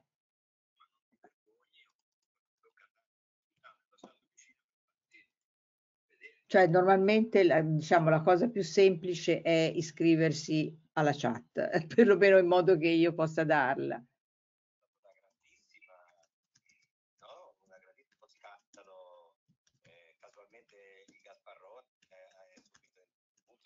Eh, Serena, io non, queste domande non, non, non, le ho viste, eh? non ce l'ho.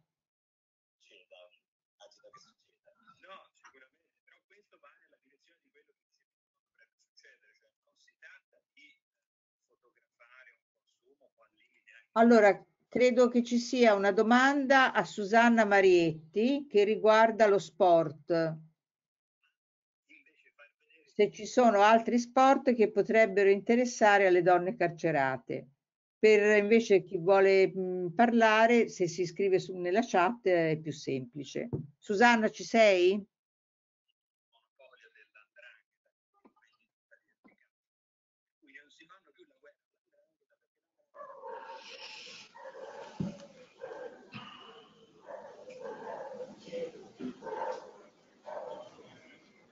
Eh, non, non, mi sembra che ci sia. Susanna ci ha abbandonato per rispondere a questo. Leonardo dice che non c'è, non dovrebbe esserci Susanna Marietti. Quindi questa domanda cade. Altre domande non ci sono? Eh, io sono un'altra Susanna, però se posso inserirmi vorrei... Non posso dare la risposta a, a, al posto di Susanna Marietti perché nulla so di sport, ehm, però se posso fare alcune considerazioni sulle cose che, che abbiamo sentito, che molte sono molto interessanti, ma insomma non, non mi prendo troppo tempo. Ehm, intanto volevo fare una considerazione rispetto eh, a quello che diceva Maria Teresa,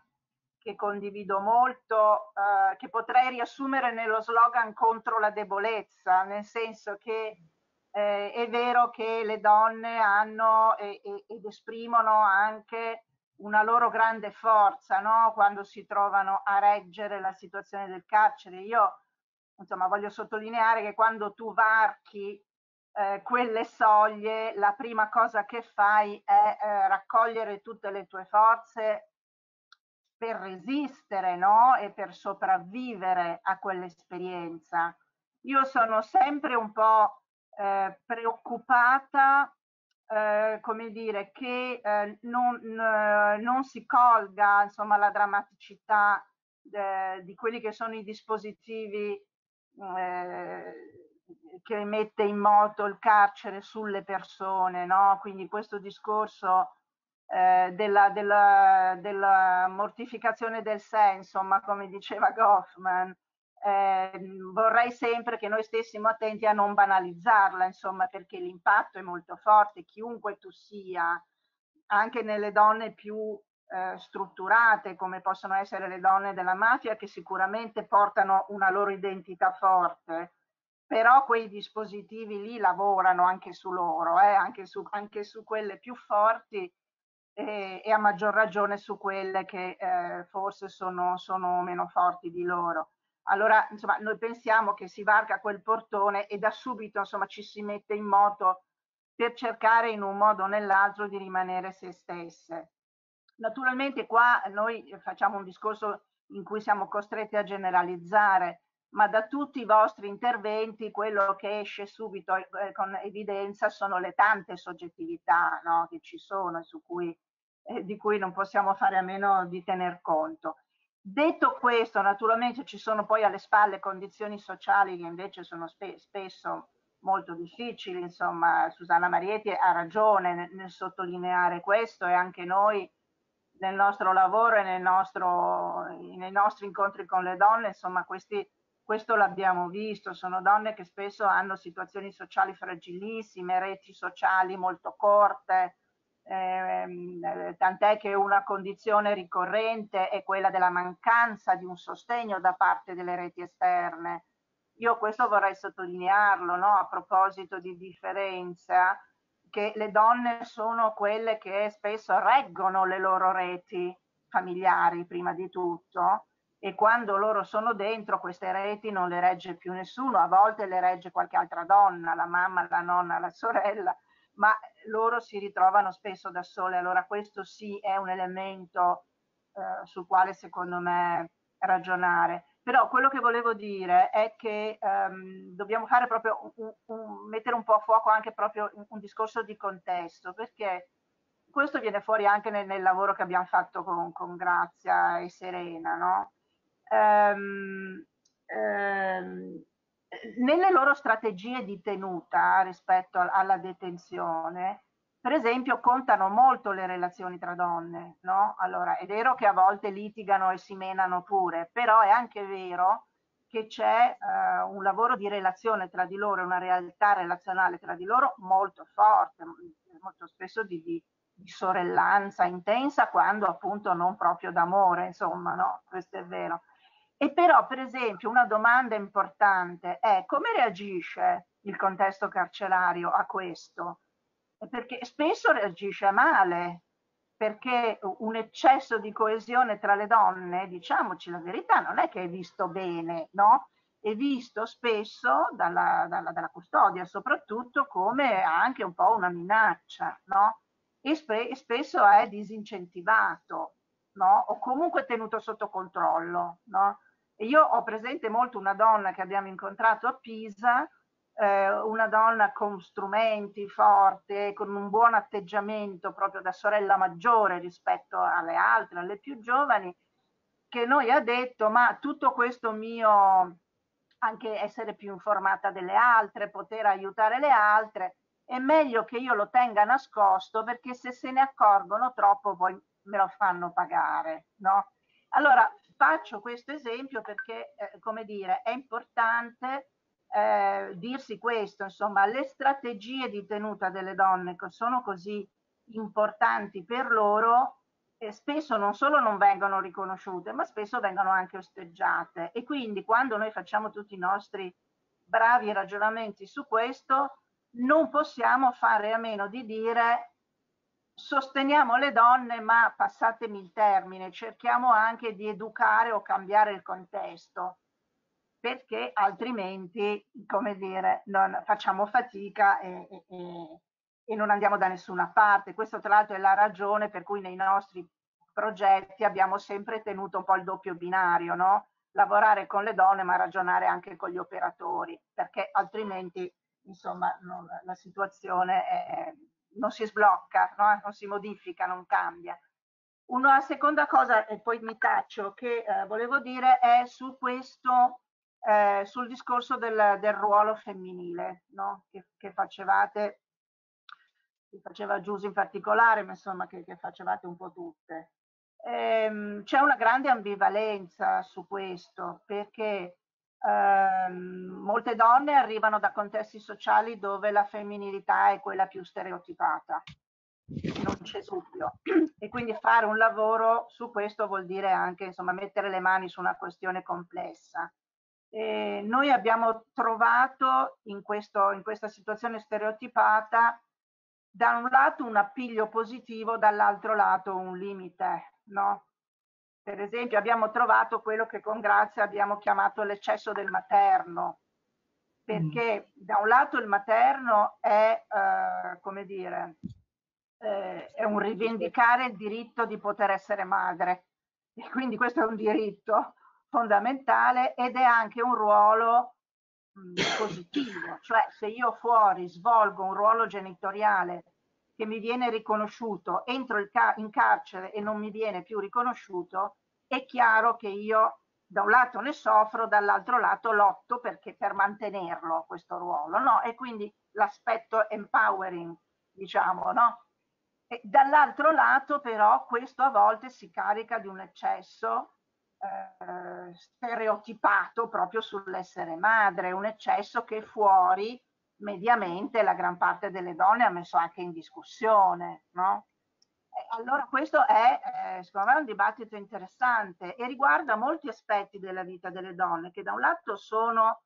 eh, l'agganciarsi a questi aspetti per tenere e anche per tenere la propria interezza, mi verrebbe da dire. Dall'altro lato però a volte possono anche essere delle trappole e inchiodarle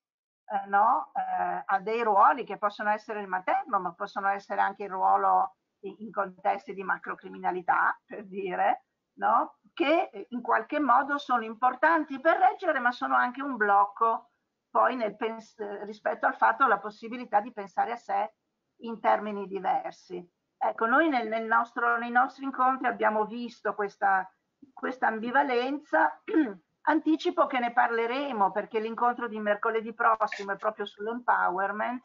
e, e questa ambivalenza trovo che, sa, che, sarà una questione su cui do, dovremo insomma, eh, tornare a ragionare in maniera particolare. Grazie. Grazie Susanna. Uh, Volevo aggiungere una cosa, se è possibile, il, in particolare pensando a una cosa che aveva detto Maria Teresa sulle agenti di polizia penitenziaria. Um, io mi sono occupata, quando abbiamo fatto ricerche, mi sono occupata in, del, dello staff carcerario, quindi sia delle agenti che educatori, educatrici, eccetera. Gli agenti di polizia penitenziaria ho trovato eh, spunti di riflessione importanti secondo me. Intanto una grande differenza, cioè si va da eh, donne eh, fortemente agganciate diciamo agli stereotipi sul femminile più, più consunti si potrebbe dire a eh, donne che invece ehm, sul sulla capacità relazionale, cioè di, e, e, quindi mettere in moto anche una capacità di dialogo e di relazione con le detenute, eh, la considerano un elemento ehm, importante della loro, non della loro formazione, perché su questa ragione Maria Teresa, cioè loro sentono benissimo che questa capacità non solo non è valorizzata come professionalità, no? Eh, non solo quindi non è incentivata, ma mm, come dire, forse anche un po' disprezzata in qualche modo no? rispetto al modello maschile. Però, eh, ehm, eh, detto questo, però invece loro capiscono che è una, eh, alcune di loro, eh, dicevo, sono grandi differenze, alcune capiscono che è una, un punto della loro professionalità. Tant'è vero che una delle cose più interessanti che sono venute fuori per come dire, eh, per esempio vincere quello che abbiamo chiamato la, la minorazione, la, de, la deresponsabilizzazione della vita del carcere che eh, per cui tutto è nelle mani degli altri e tu non sai niente e in genere ti dicono il meno possibile in modo da aumentare questa sensazione di, eh, diciamo, di, di minorazione. Ecco, invece una di queste diceva, eh, io spesso, eh, eh spesso non abbiamo le risposte perché le domande che eh, fanno riguardano altre istituzioni, eh, riguardano per esempio i magistrati, una risposta, quindi non abbiamo le risposte. Però, diceva, io l'ho trovato una cosa estremamente intelligente, anche spiegare come mai io non ho quella risposta, per cui si deve aspettare perché c'è un'altra istituzione che deve dare questa risposta, è un elemento importante e questo è, eh, questo per esempio è un, una, un, un, piccolo mattone di empowerment, quello di eh, cercare di eh, eh dare alle persone che sono eh, diciamo in quella condizione di essere totalmente nelle mani degli altri, dargli un pezzettino di conoscenza perché il, eh, per capire la situazione, per in qualche modo per capire. Eh, ecco, l'altra cosa che volevo dire è che eh, sono d'accordo in quello che dicevo ora Susanna, cioè ehm, abbiamo sempre cercato di, eh, come dire, in questo senso anche se si vuole eh, l'organizzazione di questo corso di formazione. Abbiamo sempre cercato di eh, discutere questa questione del, dell'empowerment in carcere e del, all'interno di un discorso di cambiamento, no? all'interno di un discorso quindi diciamo di un carcere diverso, ben consapevoli che questo eh, comporta, come dire, la presa d'atto di diverse istituzioni, intanto di, delle diverse figure professionali del carcere e poi delle altre istituzioni. Eh, adesso avevo riguardato nel report dove una delle proposte che noi facevamo era proprio una proposta rivolta, sto leggendo, eh, alle istituzioni giudiziarie e penitenziarie, cioè promuovere occasioni formative trasversali, per esempio qui dentro, perché un altro problema è quello che noi abbiamo scoperto che il volontariato è completamente, come dire, eh, non integrato dentro, diciamo, l'attività del cioè è considerata una cosa molto interessante, ma insomma, però del tutto a parte. E quindi dicevamo promuovere occasioni formative trasversali sul nuovo modello di carcere risocializzante e responsabilizzante su percorsi di empowerment individuale e ambientale. Ecco, eh, in questo senso pensavamo che anche che questa piccola esperienza che eh, abbiamo fatto potesse essere importante da un punto di vista metodologico. Ecco, finora non è successo, però possiamo in qualche modo continuare anche a insistere su questo, insomma, eh, mi sembra estremamente importante perché eh, poi termino, cioè la cosa che mi ha colpito girando per le carceri in cui sono girata per prendere contatti, eccetera,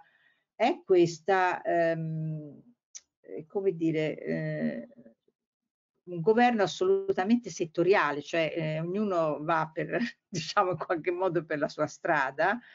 e il, come mi diceva una volta il, la responsabile diciamo de, de, della polizia penitenziaria, eh, sa, dice noi dice, eh, parliamo tra di noi quando c'è un'emergenza, ma non siamo proprio abituati a parlare fra di noi su quella che è la vita quotidiana nel carcere né come la viviamo noi né come la vivono i detenuti e le detenute, il che è una cosa mi, mi è parso molto... Mm, per cui mi diceva, insomma, quella che dice lei potrebbe essere una buona idea, mi sembra un'idea assolutamente banale, cioè, diciamo, per cui invece era considerata quasi come un'innovazione, insomma, comunque un, qualcosa di cambiamento che si potesse mettere eh, in atto. Um, io non ho iscritti. Mi pare ci fosse Elena Zizioli che voleva parlare, ma non so se... Eh, volentieri, non ho... Eh, allora, se c'è, prenda la parola.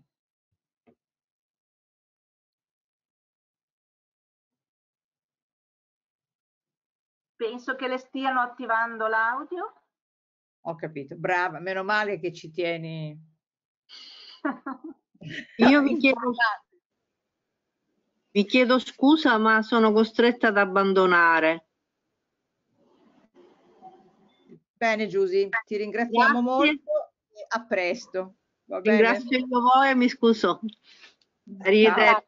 Ciao, ciao, ciao a tutti. Mi, senti ciao. mi sentite? Sì. Sì, Elena. Ah, perfetto, perché io non vi vedo. Io vi sono collegata da un telefono perché in questo momento sono uh, a Lecce con Luciana delle Donne, che penso che voi tutti conosciate perché ha creato questa impresa fantastica di Made in Carcere. Eh, per, ha cominciato appunto lavorando sulla detenzione al femminile per rafforzare i processi di empowerment col, lavorando sull'identità professionale ma non solo, quindi per far recuperare autostima alle donne. Eh, io ho avuto la fortuna e l'occasione di conoscerla perché ho fatto questo testo e quindi ho raccontato della sua esperienza e l'ho intervistata. Allora, molto interessante tutto quello che è uscito oggi e secondo me una cosa che, a parte che io condivido tutte le riflessioni di Susanna, eh, pienamente perché Susanna e Grazia, eh, tra virgolette, sono state un po' le mie maestre in questo, perché hanno aperto veramente un varco di ricerca nuovo dal punto di vista della detenzione al femminile, sull'empowerment e su tutti questi progetti e in fondo questo qua è la continuazione di WIT che è bellissimo perché rifonda e eh, permette di aprire nuove visioni e quindi di, una, di riscoprire eh, le identità recluse da, un, da prospettive completamente inedite rispetto a quello che era stato fatto prima. Quello che mi preme è il fatto, come è stato sottolineato dalla nostra uh, comune amica, che come ci raccontava uh, da Messina, che effettivamente le immagini stereotipate delle donne continuano a essere proposte e a mio avviso nelle donne che, che vivono un'esperienza di detenzione ancora di più, perché sempre di più ci insegna Tamar Pitch che la detenzione al femminile è detenzione eh, di marginalità sociale, quindi non, pro, non, non, arrivano strutturate e su queste donne il, il dispositivo penitenziario fa sentire, il dispositivo carcerario, quindi i processi di minorazione del sé sono molto più forti. Per cui ancora di più va fatto un lavoro di recupero, io dico di recupero anche pedagogico, per ristrutturare queste identità, che sono identità eh, che sono eh, molto più fragili eh, rispetto a chi ha avuto un'esperienza eh, mm,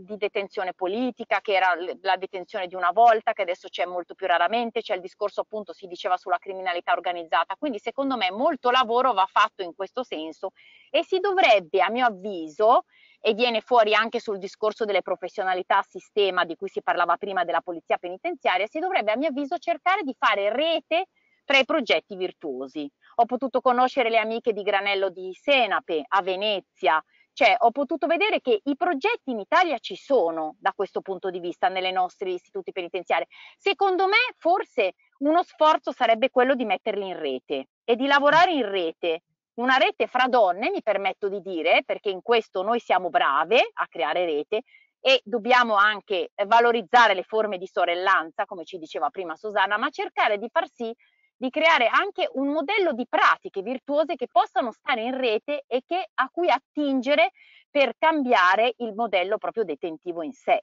Adesso scusatemi, sono in macchina, quindi spero di essere riuscita a far passare il messaggio, però è un po' questo forse che manda la condivisione eh, delle, e quindi le, la condivisione delle buone pratiche, che a mio avviso sarebbe utilissima perché ci sono tante realtà che lavorano anche bene che magari non sono conosciute. Pensiamo a tutti i progetti, no? Qui adesso col progetto WOT in questo momento stiamo cercando di, eh, il progetto WOT sta proprio cercando anche questo, no? Attraverso il dispositivo narrativo anche di creare reti fra le varie eh, realtà e, e, tutti quelli che sono intervenuti e interverranno in questi eh, webinar cercano proprio di restituire le loro esperienze e di cercare di metterle a modello per poi diffonderle perché po', po', un po' questo il nostro compito, poi portare questa metodologia di lavoro in tutti gli istituti. Ecco, io a mio avviso, secondo me dobbiamo cercare sempre di più di sistematizzare queste buone pratiche e di metterle in rete. Secondo me è un lavoro fondamentale per ricostruire nuovi modelli che possano poi essere anche assunti dalle amministrazioni, da chi poi eh, decide eh, e deve riorganizzare la vita la vita dentro e non solo, ma anche pensare a forme di decarcerizzazione che per le donne sappiamo sono quelle che pagano di più. Con tutto il discorso poi che si farà sull'empowerment e sul materno che mi trova perfettamente d'accordo, ecco questo discorso che recuperava anche Susanna. Io credo che dal punto di vista, mh, io sono molto interessata perché occupandomi di educazione, tutte queste pratiche virtuose non sono altro che modelli educativi a cui attingere e tra l'altro un grosso lavoro deve essere fatto anche sui giovani, sulle nuove generazioni di donne che rischiano altrimenti di essere vittime di modelli stereotipati che si ripropongono nella nostra contemporaneità con una visione della donna che risente ancora di modelli di subalternità, di inferiorità, anche se sono diversi da quelli del passato, ma comunque i rischi sono più subdoli, forse i rischi ci sono ancora. E quindi da questo punto di vista, secondo me, molto lavoro si potrebbe fare. Io sono per la condivisione di pratiche e quindi per, per lavorare ad un discorso di modellizzazione tutte insieme che si cerchi di capire quali sono i punti di criticità e quelli invece sono i punti di forza su cui fare leva non so se siete d'accordo con, su questa eh, proposta. Assolutamente. Sembra una bella idea e il passo successivo o forse contemporaneo diciamo della messa in rete è vedere di eh, come dire eh,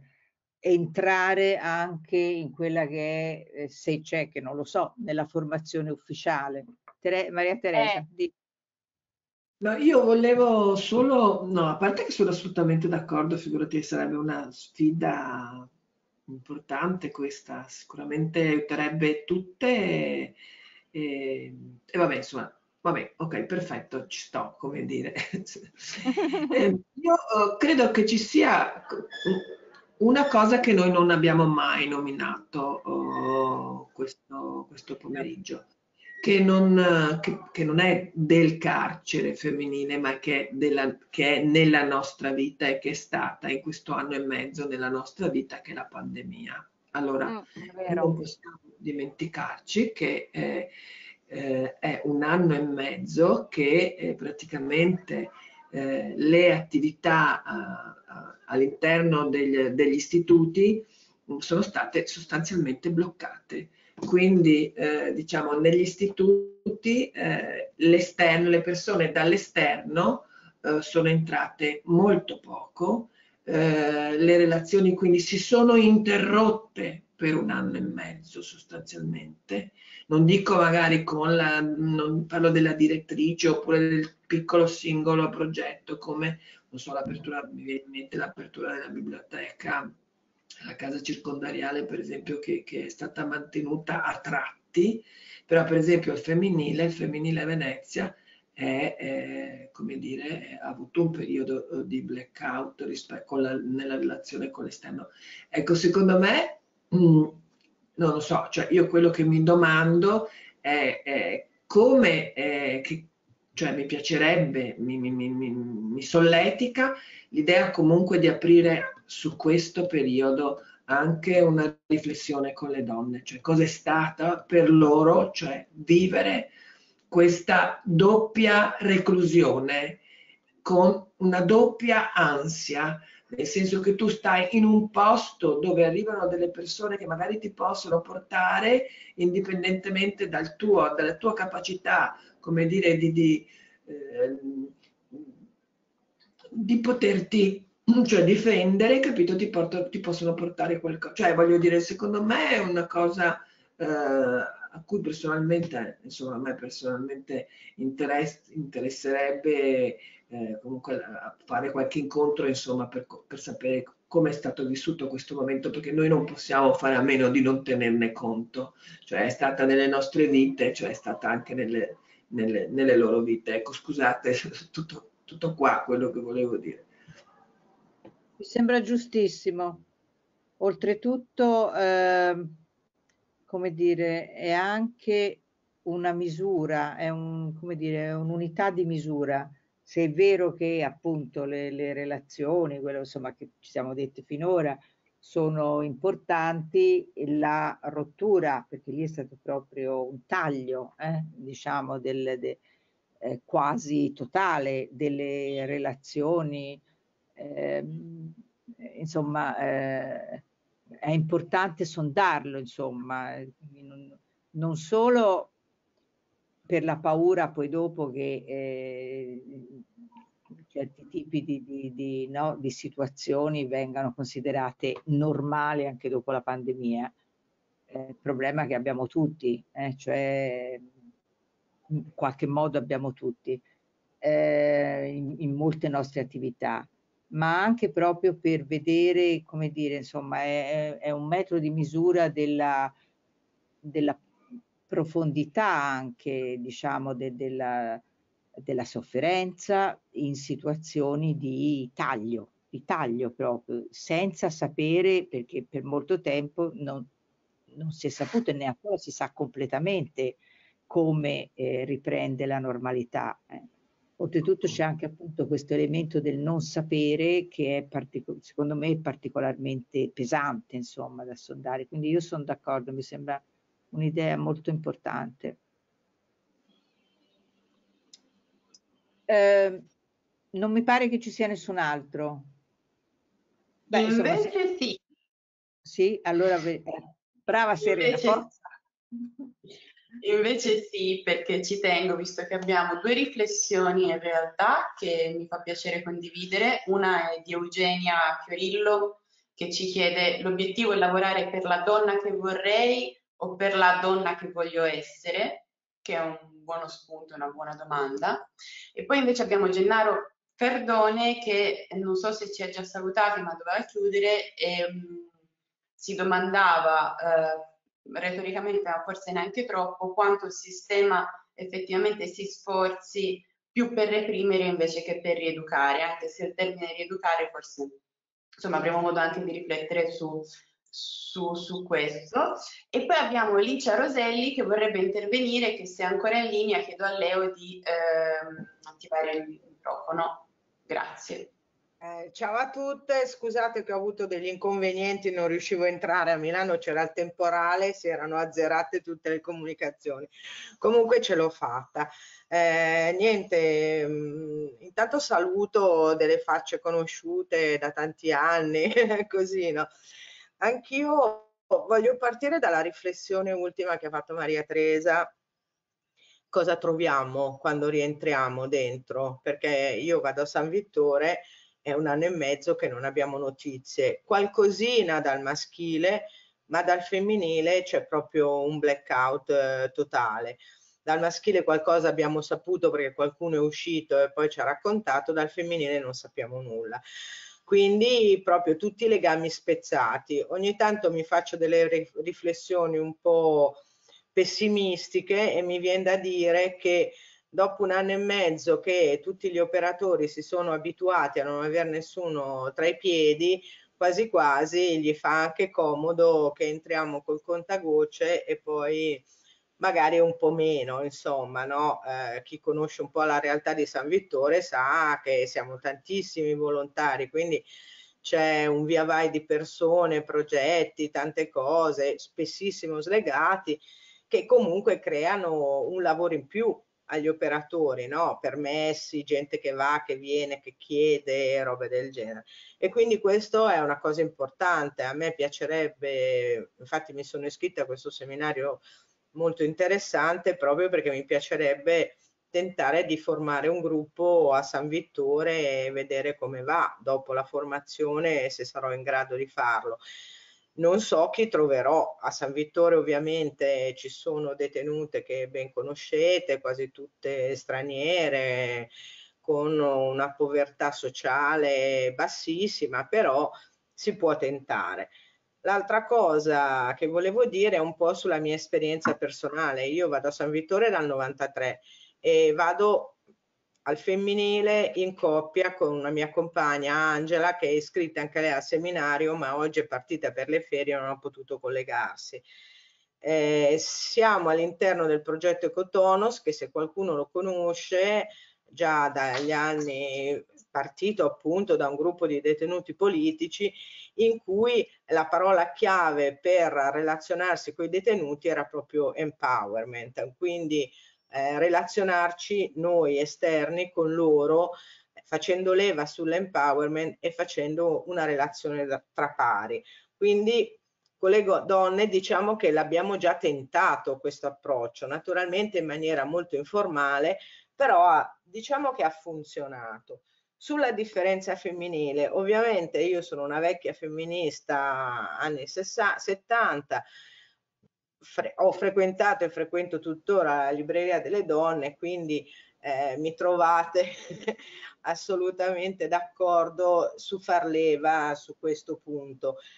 Ci abbiamo provato Angela e io, anche perché quando andiamo al femminile siamo forti e forti di una relazione tra noi due che si vede chiaramente, non siamo solo una coppia che va lì, abbiamo una relazione politica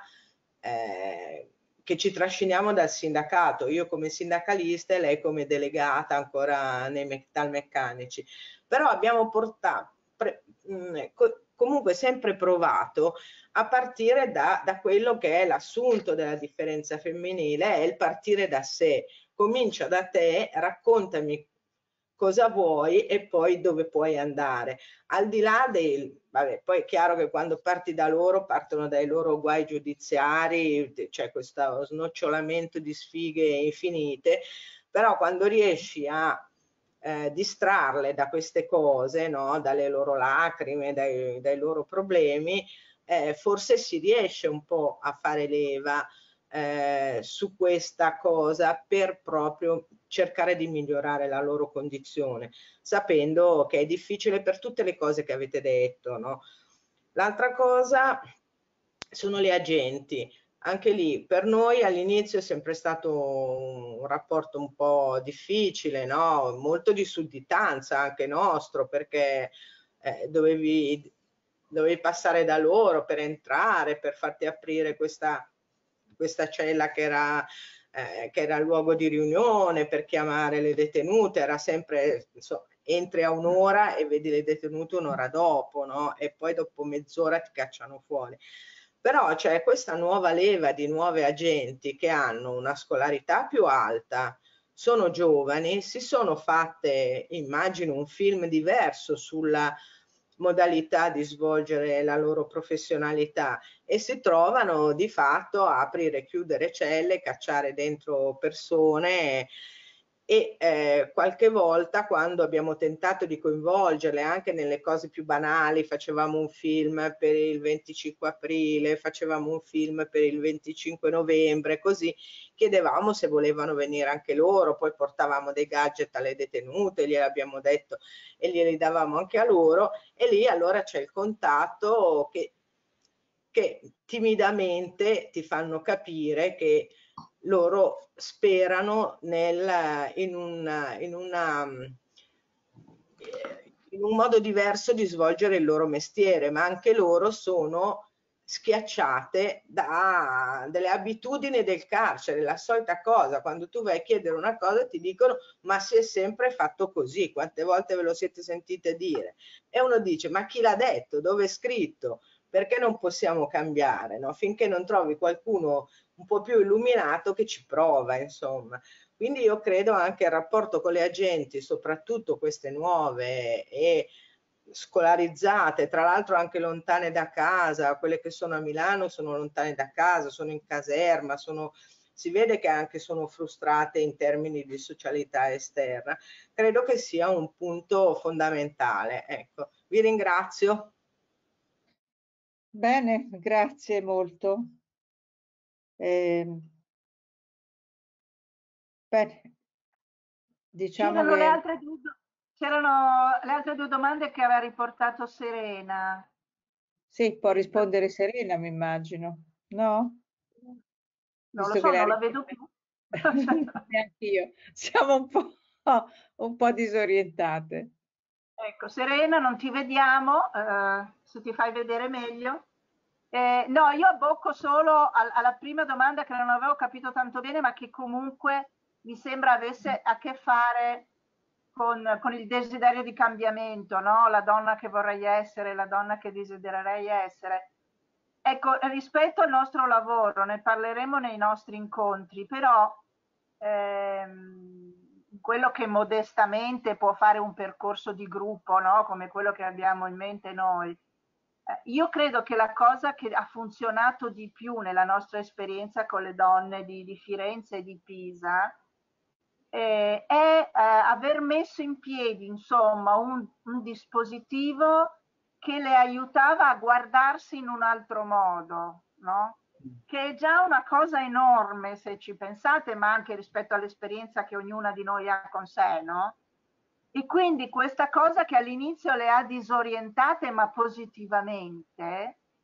è stato quello di dire loro eh, non vogliamo in nessun modo partire eh, dagli errori, dalle colpe, dai reati o dalle sofferenze, vogliamo partire eh, da quando voi eh, avete fatto una cosa di successo, che è andata bene, da quando voi vi siete piaciute, no? da quando ha funzionato.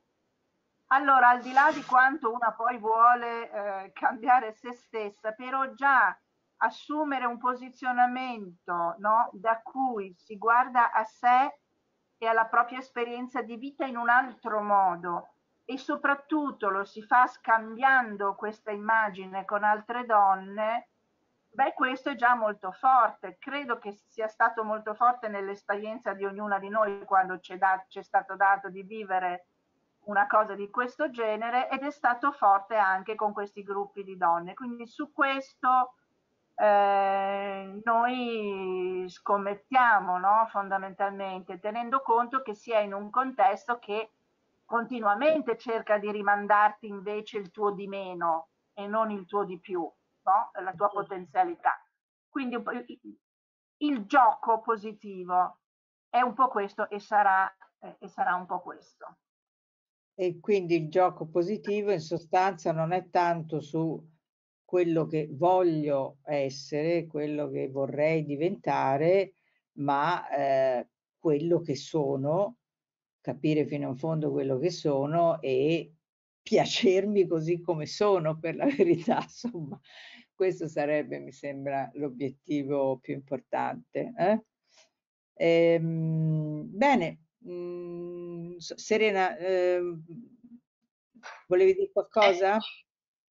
Eccomi, sì, infatti scusatemi, non, non riuscivo a connettermi. Ehm, avete già risposto, solo una parola in più. Mm, non so quanto la domanda di Eugenia fosse in parte anche provocatoria, cioè eh, ha già risposto ampiamente Susanna, lei, lei si chiede quanto, cioè metteva in contrapposizione la donna, quanto vogliamo noi lavorare sulla donna che eh, vorrei piuttosto che la donna che la detenuta poi sceglie di voler essere, no? quindi decostruendo poi quello che è un modello a cui ci si deve riferire e lavorando poi in realtà su quelle che sono le, le, le, competenze e le capacità che la donna ha e che mette in campo rispetto a un'immagine di sé che un po' contrasta anche la narrativa predominante. Ehm, noi rispondiamo alla provocazione dicendo che ovviamente è la seconda la via no? che abbiamo già eh, in parte eh, intrapreso con la ricerca precedente che sicuramente in realtà poi costituisce il motivo del, anche di questo incontro e dei prossimi.